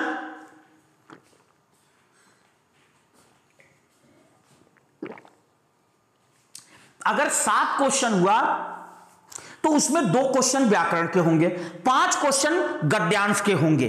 तो आपको मैं तरीका बता रहा हूँ कैसे गद्यांश सॉल्व करना है। पहले मैं कुछ नहीं करूँगा। ये देखो बेटे, मैं इसको छूँगा भी नहीं मतलब पढ़ूँगा भी नहीं। आ गया।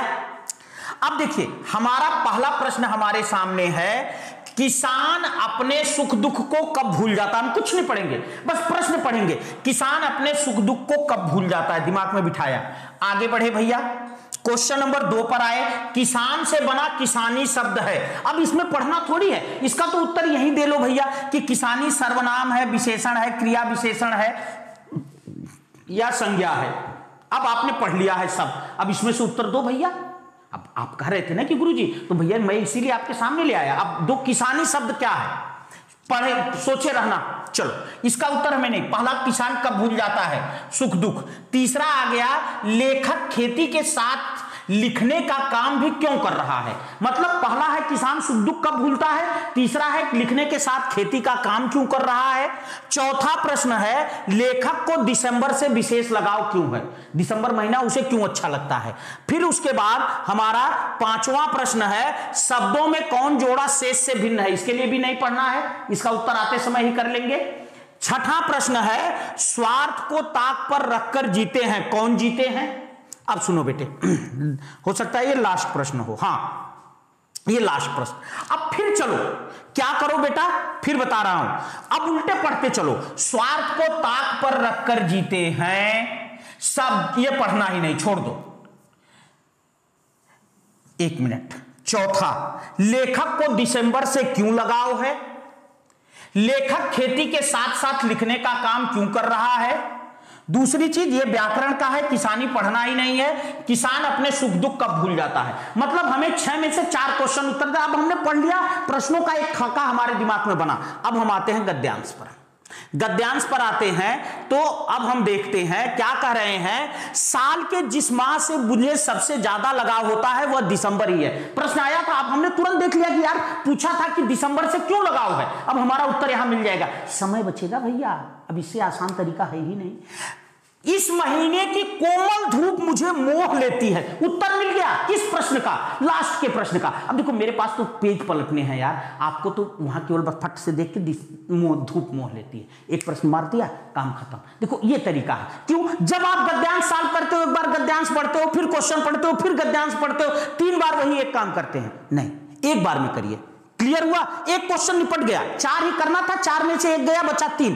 तीन में एक है कि लिखने के साथ खेती का काम क्यों करता है? एक पूछा है कि किसान कैसे स्वार्थी, क्या इस तरह से कुछ है? वो शब्द मिलेगा, पकड़ लेंगे। चलो, एक उत्तर मिल गया। इस महीने की कोमल धूप मुझे मोह लेती है, लेकिन तभी एहसास होता है कि यह साल भी बीत विगत हो जाएगा। ठीक उसी तरह, जैसे धरती मैया के आंचल में न जाने कितनी सदियाँ, कितने बरस छिपे बैठे हैं, फिर सोचता हूँ तो लगता है कि क्या लगता है कि जो है दुबक कर छिपे बैठे हैं? फिर सोचता हूँ तो लगता है कि हर किसी के जीवन जीवन के बनने में ऐसे ही न जाने कितने बारह महीने लगे होंगे।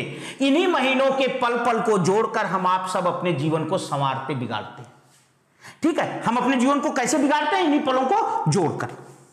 किसानी करते हुए, अब देखिए यहाँ देखिए, किसानी करते हुए, अब हमने पकड़ लिया, करते हुए, क्या किसानी? क्या करते हुए किसानी? इसका मतलब किसानी करते हुए तो किसानी करते हुए से जुड़ है, इसका मतलब क्रिया विशेषण है। बात समझ में आ गई? किस तरह का क्रिया विशेषण है? बता दीजिए। भाई, ये कालवाचक तो है नहीं। कालवाचक तो है नहीं। है कि नहीं? अच्छा दूसरी चीज़ यह है कि ये न तो स्थानवाचक है, न रीतिवाचक है, और न परिमाणवाचक है। जानते हैं बेटे, इसी तरह से वासुदेव नंदन प्रसाद जी की किताब में, वासुदेव नंदन प्रसाद जी ने पृथ्वीनाथ पांडे जी, उन्होंने क्रिया विशेषण के पाँच भेद किए हैं। और उनका विभाजन मुझे अच्छा भी लगता है। यहाँ वाक्य आ गया तो ज़रूर बताऊँगा, ये लोभ मैं बचा नहीं पा रहा हूँ। उन्होंने पाँच भेद किए हैं। उन्होंने कहा कि एक गुणवाचक क्रिया विशेषण भी होना चाहिए, क्योंकि कोयल मीठा गाती है। यहाँ गाने की विशेषता है मीठा, और मीठा शब्द चारों में नहीं आता। किसानी करता है, करने की विशेषता है किसानी। तो यह चारों में नहीं आता। खैर, कोई मतलब नहीं, हमें क्रिया विशेषण बताना है, क्या मतलब छोड़ किसानी करते हुए हमने पाया कि एक किसान चार चार महीने में एक जीवन जीता है। शायद ही किसी पेशे में जीवन को इस तरह टुकड़ों में जिया जाता होगा। चार महीने में हम एक फ़सल उपजा लेते हैं और इन चार महीनों में सुख दुख को फ़सल काट, काटते हैं, मानो भूल जाते हैं। इस चार महीनों के सुख दुख को फ़सल काटते ही मानो भूल जाते हैं। कभी बाबूजी के मुख से सुना था कि किसान ही केवल एक ऐसा जीव है, जो स्वार्थ को ताक पर रखकर जीता पूछा था, याद आया कि कौन स्वार्थ को ताक पर रखकर जीता है? प्रश्न मिल गया, दो प्रश्न खत्म। क्या करना है यार, कुछ है? पीछे उनका तर्क था कि फ़सल बोने के बाद किसान इस बात की परवाह नहीं करता कि कल अच्छा होगा या बुरा। यह सब कुछ मौसम के हवाले कर जीवन के अगले चरण की तैयारी में जुट जाता है। किसानी करते हुए जो एहसास हो रहा है, उसे लिखता जाता हूँ। आशा के साथ कि किसानी को कोई परित्यक्त भाव से न देखे। अब क्या कर रहे हैं कि क्यों करता था? क्योंकि वो इसलिए लिखता था, अब देखिए हमारे अगले प्रश्न का उत्तर मिल गया कि लेखक किसानी के साथ क्यों लिखता था? क्योंकि वो इसलिए लिखता था कि किसानी को कोई परित्यक्त मतलब त्याज्य भाव से, गलत भाव से न देखे। ठीक है? आगे।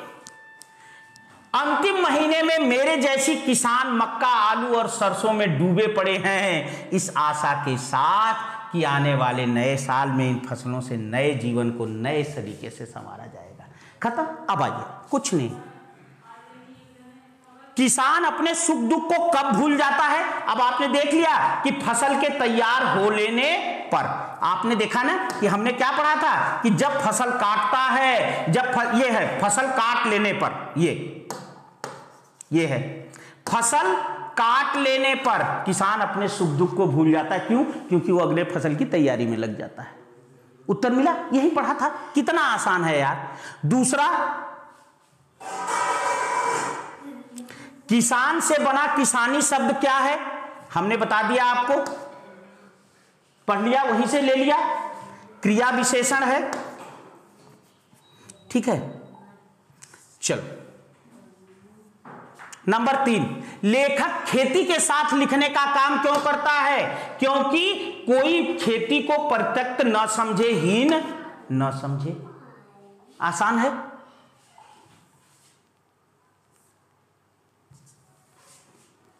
दिसंबर महीने से विशेष लगाव क्यों है? क्योंकि कोमल धूप उसको अच्छी लगती। कौन सा जोड़ा शेष से भिन्न है? सुख दुख, सजाया समारा, घास फूस, कंकड़ पत्थर। अब जरा सा बता दीजिए, इसमें कौन सब जो है, शेष से भिन्न है? बता दीजिए बेटे। बताइए जल्दी जल्दी। सुख दुख, सजाया समारा घास फूस पत्थर। अब इस तरह के प्रश्नों में पता है क्या? देखिए, मैंने अपने हिसाब से कठिन गद्यांश छांट के लिया था। देखो बेटे, इस तरह के प्रश्नों में क्या करना पता है कि आप देखना हम किस तरह के, किस शीर्षक को पढ़ रहे हैं और उस शीर्षक में कौन कौन से आए हैं कौन नहीं आया है। सुख दुख शब्द आया है,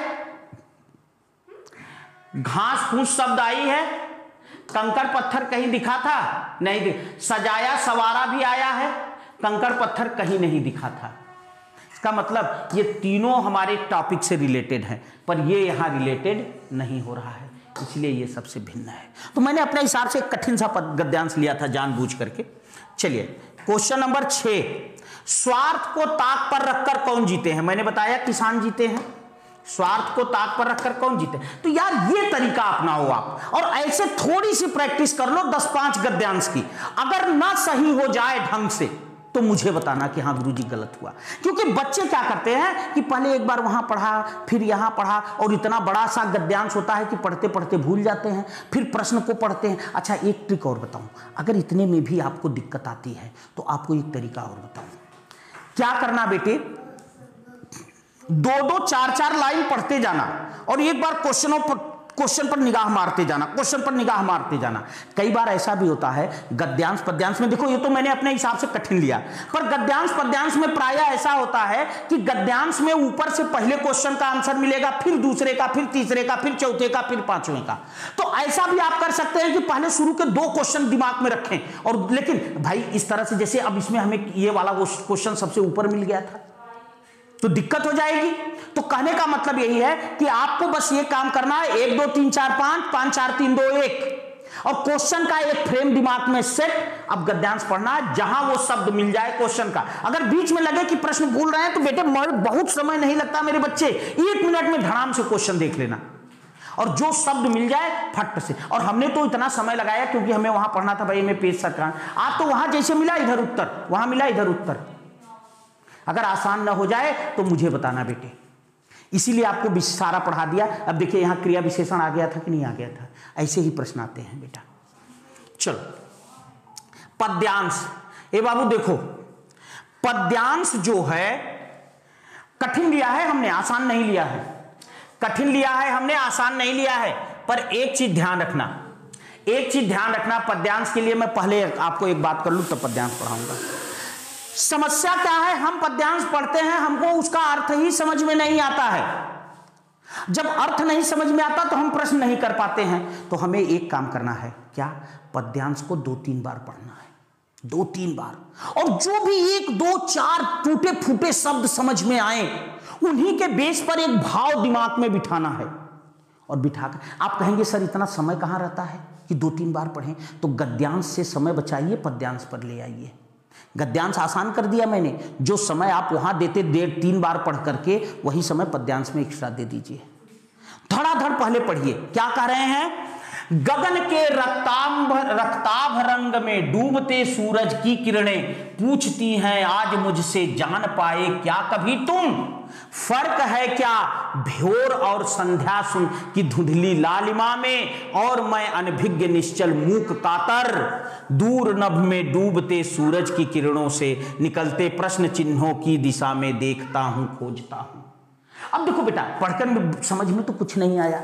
लेकिन इतना ज़रूर समझ में आया कि सूरज के लाल डूबने उबने की बात कुछ की जा रही है। इतना तो समझ में आ गया ना कि दूसरी चीज़ क्या है? अब फिर से हम एक बार पढ़ेंगे इसको। हम फिर से पढ़े और हमने कहा, गगन के रक्ता, रक्ताभ रंग में, लाल रंग में, ठीक है? गगन के रक्ताभ रंग में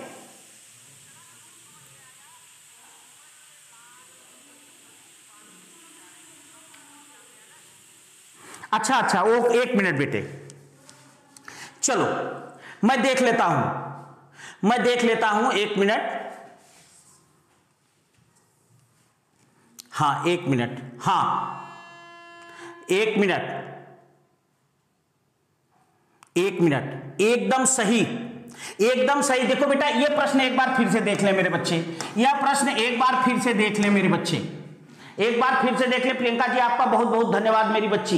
बिल्कुल सही कहा आपने। मेरी बिटिया ने एकदम सही कहा मेरे बच्चों। यह प्रश्न एक बार फिर से देख ले, प्लीज़ ये गलत हो गया था। देखिए, मुझे इसमें कोई आपत्ति नहीं है। कोई वो नहीं है बेटा, क्योंकि सब आदमी है यार। हो सकता है दिमाग में भाव दूसरा है आ गया। देखो बेटे, सही कहा। बिटिया ने बहुत सही पॉइंट पकड़ा है। सुख दुख जो है, ये एक दूसरे के विपरीतार्थक है। एकदम सही बताया मेरी बच्ची ने। सुख दुख एक दूसरे के विपरीतार्थक है। सजाया संवारा एक ही बात है। घास फूस एक ही बात है। कंकड़ पत्थर एक ही बात है। तो ये तीनों समानार्थक हैं। ठीक है? और ये विपरीतार्थक है। ए होगा सही उत्तर। सही कर लेंगे मेरे बच्चों। सही कर लेंगे मेरे बाबू, मेरे बेटे। ओके? चलो, बहुत अच्छी बात बताई आपने बिटिया, आपको कोटि कोटि धन्यवाद बहुत बहुत धन्यवाद आपका मेरे बच्चे। ठीक है? चलो बेटा, देखो, यही चीज़ें हैं भाई, हम हड़बड़ी में, जल्दबाजी में है, अब हमने वहीं से जोड़ लिया, है कि नहीं? पर देखिए, आप जब कूल होकर के करेंगे तो खुद ब खुद समझ में आ जाएगा यार, जैसे बेटी ने बड़े आसानी से पकड़ लिया कि गुरु जी यहाँ सुख दुख विलोम है, सजाया समारा, घास, फूस, कंकड़, पत्थर, ये सिमिलर है, समानार्थी है। ओके बेटा, आंसर सही कर लेना मेरे बच्चे, कोई बात नहीं बाबू, हो जाता है। चलो। अब देखो, करें गगन के रक्ताभ रंग में, डूबते सूरज की किरणें पूछती हैं, आज मुझसे जान पाए क्या कभी तुम? फ़र्क क्या है भोर और संध्या की धुधली लालिमा में?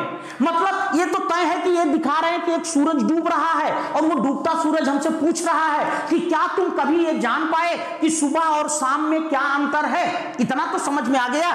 और मैं अनभिज्ञ निश्चल मूक कातर, मूक माने शांत, भले अनभिज्ञ न समझ में आए, कातर न समझ में आए है पर इतना समझ में आएगा कि मैं शांत होकर, मैं शांत हो जा रहा हूँ, मैं उत्तर नहीं दे पा रहा हूँ। दूर नभ में डूबते सूरज की किरणों से निकलते प्रश्न चिन्हों की दिशा में देखता हूँ। और बस दूर सूरज के डूबते हुए सूरज को बस केवल देख रहा हूँ और मैं वास्तव में नहीं जान पाया कि संध्या और सुबह में अंतर क्या है। इतना भाव समझ में आ गया। मैंने ऐसी कविता ली बेटे जो कठिन कठिन शब्दों से है। आसान क्वेश्चन नहीं लिया। ठीक है? अब चलो आगे देखते हैं। इसमें पहले हम प्रश्न पढ़ लेंगे। अच्छा अजना अनजाना एक उत्तर, क्षितिज के गहरे धुंधले, धुधल के थाम लेते हाथ मेरा और ले चलते मुझे उस पार अपने। करे एक अनजाना सा उत्तर मुझे मिलता है, जो मुझे छितिज के उस पार ले जाता है। अब देखिए, समझ गए? रक्ताभ से क्या तात्पर्य है? अब देखो बेटा रक्ताभ आपने एक चीज़ देखा कि कह रहा है, डूबते सूरज के साथ रक्ताभ जुड़ा है, ना? आपने देखा प्रश्न में क्या देखा? देखो, जब थोड़ा सा ध्यान दोगे बेटे तो समझ में आ जाए। गगन के रक्ताभ रंग में डूबते सूरज इसका मतलब ये रक्ताभ डूबते सूरज से जुड़ा है। और अगर ये डूबते सूरज से जुड़ा है बेटे तो सीधी सी बात है कि डूबता सूरज कैसा होता है? डूबता सूरज कैसा होता है? तो सीधी सी बात है, लाल होता है। डूबता सूरज के समय आसमान लाल होता है। इसका मतलब रक्ताभ माने लाल रंग। रक्त से भरा नहीं होगा बेटे, आभ शब्द आभा से बनी है। आभा माने चमक, रक्त माने लाल। लाल रंग की चमक या लाल रंग की कांति अब देखो, नहीं आता मुझे, लेकिन मैंने थोड़ा सा गौर किया, वहीं से सेट कर दिया। नंबर दो क्या कह रहे हैं? अच्छा एक मिनट, ये ज़्यादा आ गया है। कोई बात नहीं, चलो उल्टा चल लेते हैं।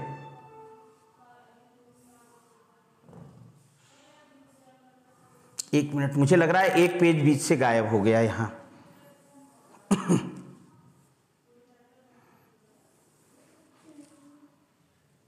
अच्छा सूरज का पर्यायवाची है। अब देखिए, ये तो इसको पढ़ना ही नहीं। दिवाकर निकर है नहीं उषाकर है नहीं, भयंकर है नहीं। ठीक है? दिवाकर सबसे सही है। उषाकर शब्द सही नहीं उषाकर कोई शब्द नहीं होता बेटे। दिवाकर होता है उषाकर नहीं होता है। ठीक है? तो उषाकर ये तो पढ़ना ही नहीं था, आसान प्रश्न था। अगला, क्षितिज से क्या तात्पर्य है? तो आप लोग अब देखिए इसमें क्या पढ़ना क्षितिज मतलब जानते हैं जहाँ आकाश और पृथ्वी मिलती है। ये तो वाक्यांश के लिए एक शब्द है। चलिए नेक्स्ट हाँ अब ये देखिए, यहाँ देखिए, अब जो असली प्रश्न लड़ते हैं, दिक्कत करते हैं वो। फ़र्क क्या है भोर और संध्या की धुधली लालिमा में? इससे कवि क्या कहना चाह रहा है? सुबह और शाम। देखो बेटे, हम सब की ज़िंदगी में रोज सुबह होती है, रोज शाम होती है और एक एक दिन बीतता जाता। है इतना तो हम समझ रहे हैं ना? भाई, सूरज हमें क्या सिखा रहा है? यही तो सिखा रहा है। वो हमसे यही तो प्रश्न कर रहा है कि क्या तुमको पता है कि रोज एक सुबह आती है, रोज एक शाम आती है और इस शाम और सुबह में जीवन बीतता चला जाता है। इतना तो भाव हमारे वहाँ समझ में आ गया था। ऊर्जा, तीव्रता, अवदेश, उत्प्रेरण। संध्या की धुंधली लालिमा में मतलब कि ये कह रहे हैं कि शाम को जब सूरज डूबने लगता है तो उसमें क्या है? ऊर्जा है, तीव्रता है आवदेश है या उत्प्रेरण है। देखो बेटे, एक बात ध्यान रखना। मैंने कहा ना कि मैंने यहाँ जानबूझ करके आपको कठिन प्रश्न लिया। भाई देखिए, ऊर्जा ऊर्जा का मतलब क्या है? एनर्जी। एनर्जी तो डूब, उगते सूरज के साथ होती है, क्योंकि डूबना ऊर्जा का क्षरण होता है। तीव्रता उगने में होती है है कि नहीं? अवदेश और उत्प्रेरण। उत्प्रेरण माने एक मोटिवेशन और अवदेश का मतलब क्या है? अवदेश का मतलब क्या है? भाई, आदेश शब्द तो है। आवेश, आवेदस। आवेदस। अब आप देख रहे हैं, ये कोई शब्द ही नहीं है। तो सीधी सी बात है, एक उत्तर मिल गया कि नहीं? थोड़ा सा दिमाग लगाया, एक उत्तर मिल गया कि भाई कुछ प्रेरण है, एक मोटिवेशन है क्या, जो आज डूब रहे हैं, कल फिर उगेंगे? आज संध्या है, फिर सुबह होगी। ठीक है? चलिए, दूर नभ में डूबते सूरज की किरणों से, प्रस्तुत पंक्ति में कवि किस तथ्य का पता कर रहा है? कवि की आशावादी दृष्टि सूरज की किरणों की तीव्रता डूबते सूरज का प्रकाश नभ की ऊंचाई। अब आप एक बात ध्यान दो बेटे, जब भी आशय शब्द पूछेगा या पता चल रहा है पूछेगा तो समझ लेना, सीधा अर्थ कभी नहीं होगा। सीधा अर्थ कभी नहीं होगा। अगर यह ट्रिक आपके दिमाग में है तो कभी प्रश्न गलत नहीं होगा। सूरज की तीव्रता सीधा अर्थ है। डूबते सूरज का प्रकाश सीधा अर्थ है। नभ की ऊंचाई सीधा अर्थ है। जो भिन्न अर्थ होगा, वही सही उत्तर होगा। समझ में आ गया? जब भी आशय कहे, या कहे इसका मतलब क्या है तो समझ लेना डायरेक्ट जब ये कहे, या तो चारों उत्तर हो, जो एकदम वही सही अर्थ वाले हो, तब उसमें से देना। या जब कहे कि इस तथ्य से कभी क्या बताना चाहता है, क्या आशय देना चाहता है तो हमेशा वही उत्तर देना, बेटे। जो सीधा अर्थ न हो, क्योंकि हर कविता में किसी भी पंक्ति का सीधा बिल्कुल अर्थ जो होता है, वो बहुत महत्वपूर्ण नहीं होता। मेन अर्थ होता है जो उसका जो है, अलग दूसरा ज्ञात अर्थ होता है। ठीक है? देख लें अच्छा। कवि में, कविता में कातर से क्या तात्पर्य है? तो आप जानते हैं कि कातर, निर्भीक, उत्साही, डरपोक, दृढ़ निश्चयी। तो आप जानते हैं कातर शब्द का अर्थ ही होता है डरपोक या आप ये कह सकते हैं कि निर्भीक, उत्साही तो है नहीं, क्योंकि कातर जो है बेटे, ये नकारात्मक शब्द है। तो इसका सीधा उत्तर निर्भीक, उत्साही भी होगा, नहीं, डरपोक होगा। तो कहने का मतलब यार देखो, बहुत कठिन नहीं होता है। बहुत कठिन नहीं होता है। यदि आप एक बार कविता, मेरी बात मानना, मत डरना, होता क्या है मैं बताऊँ? जैसे ही कविता देखते हैं, एक बार पढ़ा, अर्थ नहीं समझ में आया। हम्म। अच्छा हाँ बता रहा हूँ, शीर्षक कैसे पकड़ते very good question that's a good question कि जो है सर, शीर्षक कैसे निकालते हैं? सुनो बेटे, जब आपसे शीर्षक पूछेगा तो चारों लाइन कविता से संबद्ध संबद्ध रहेगी। लेकिन यह देखना कि कविता में जिस भाव को अभिव्यक्त किया गया है, वह किसमें सबसे अच्छा है, वही उसका शीर्षक होगा। मतलब जैसे इसमें इसमें अगर आपसे कहा जाए कि अगर शीर्षक हम दे, जैसे इसे कहा जाए, चलो, अगर कहें इस कविता का शीर्षक क्या होगा? दिसंबर महीना सूरज का डूबना।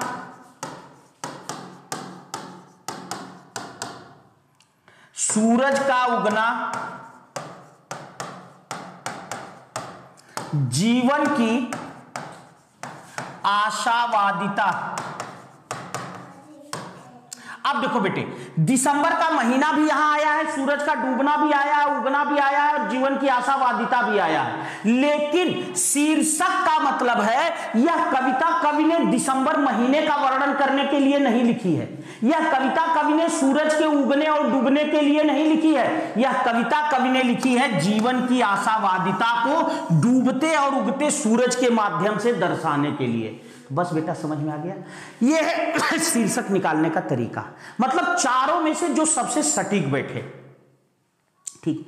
तो मेरे बच्चों, एक चीज़ ध्यान रखना। अभी तो ये केवल अंगड़ाई है। अभी तमाम प्रैक्टिस सेट, तमाम जो है ऑनलाइन प्रैक्टिस के माध्यम से मैं आपसे जुड़ा रहूँगा और हमारा एक ही जिद्द है मेरी और चंद्रा इंस्टीट्यूट की कि जो मेरा भाई बहन मेरे साथ जुड़ा है पहले वो सीटेट पास होगा, बाद में दूसरे पास होंगे।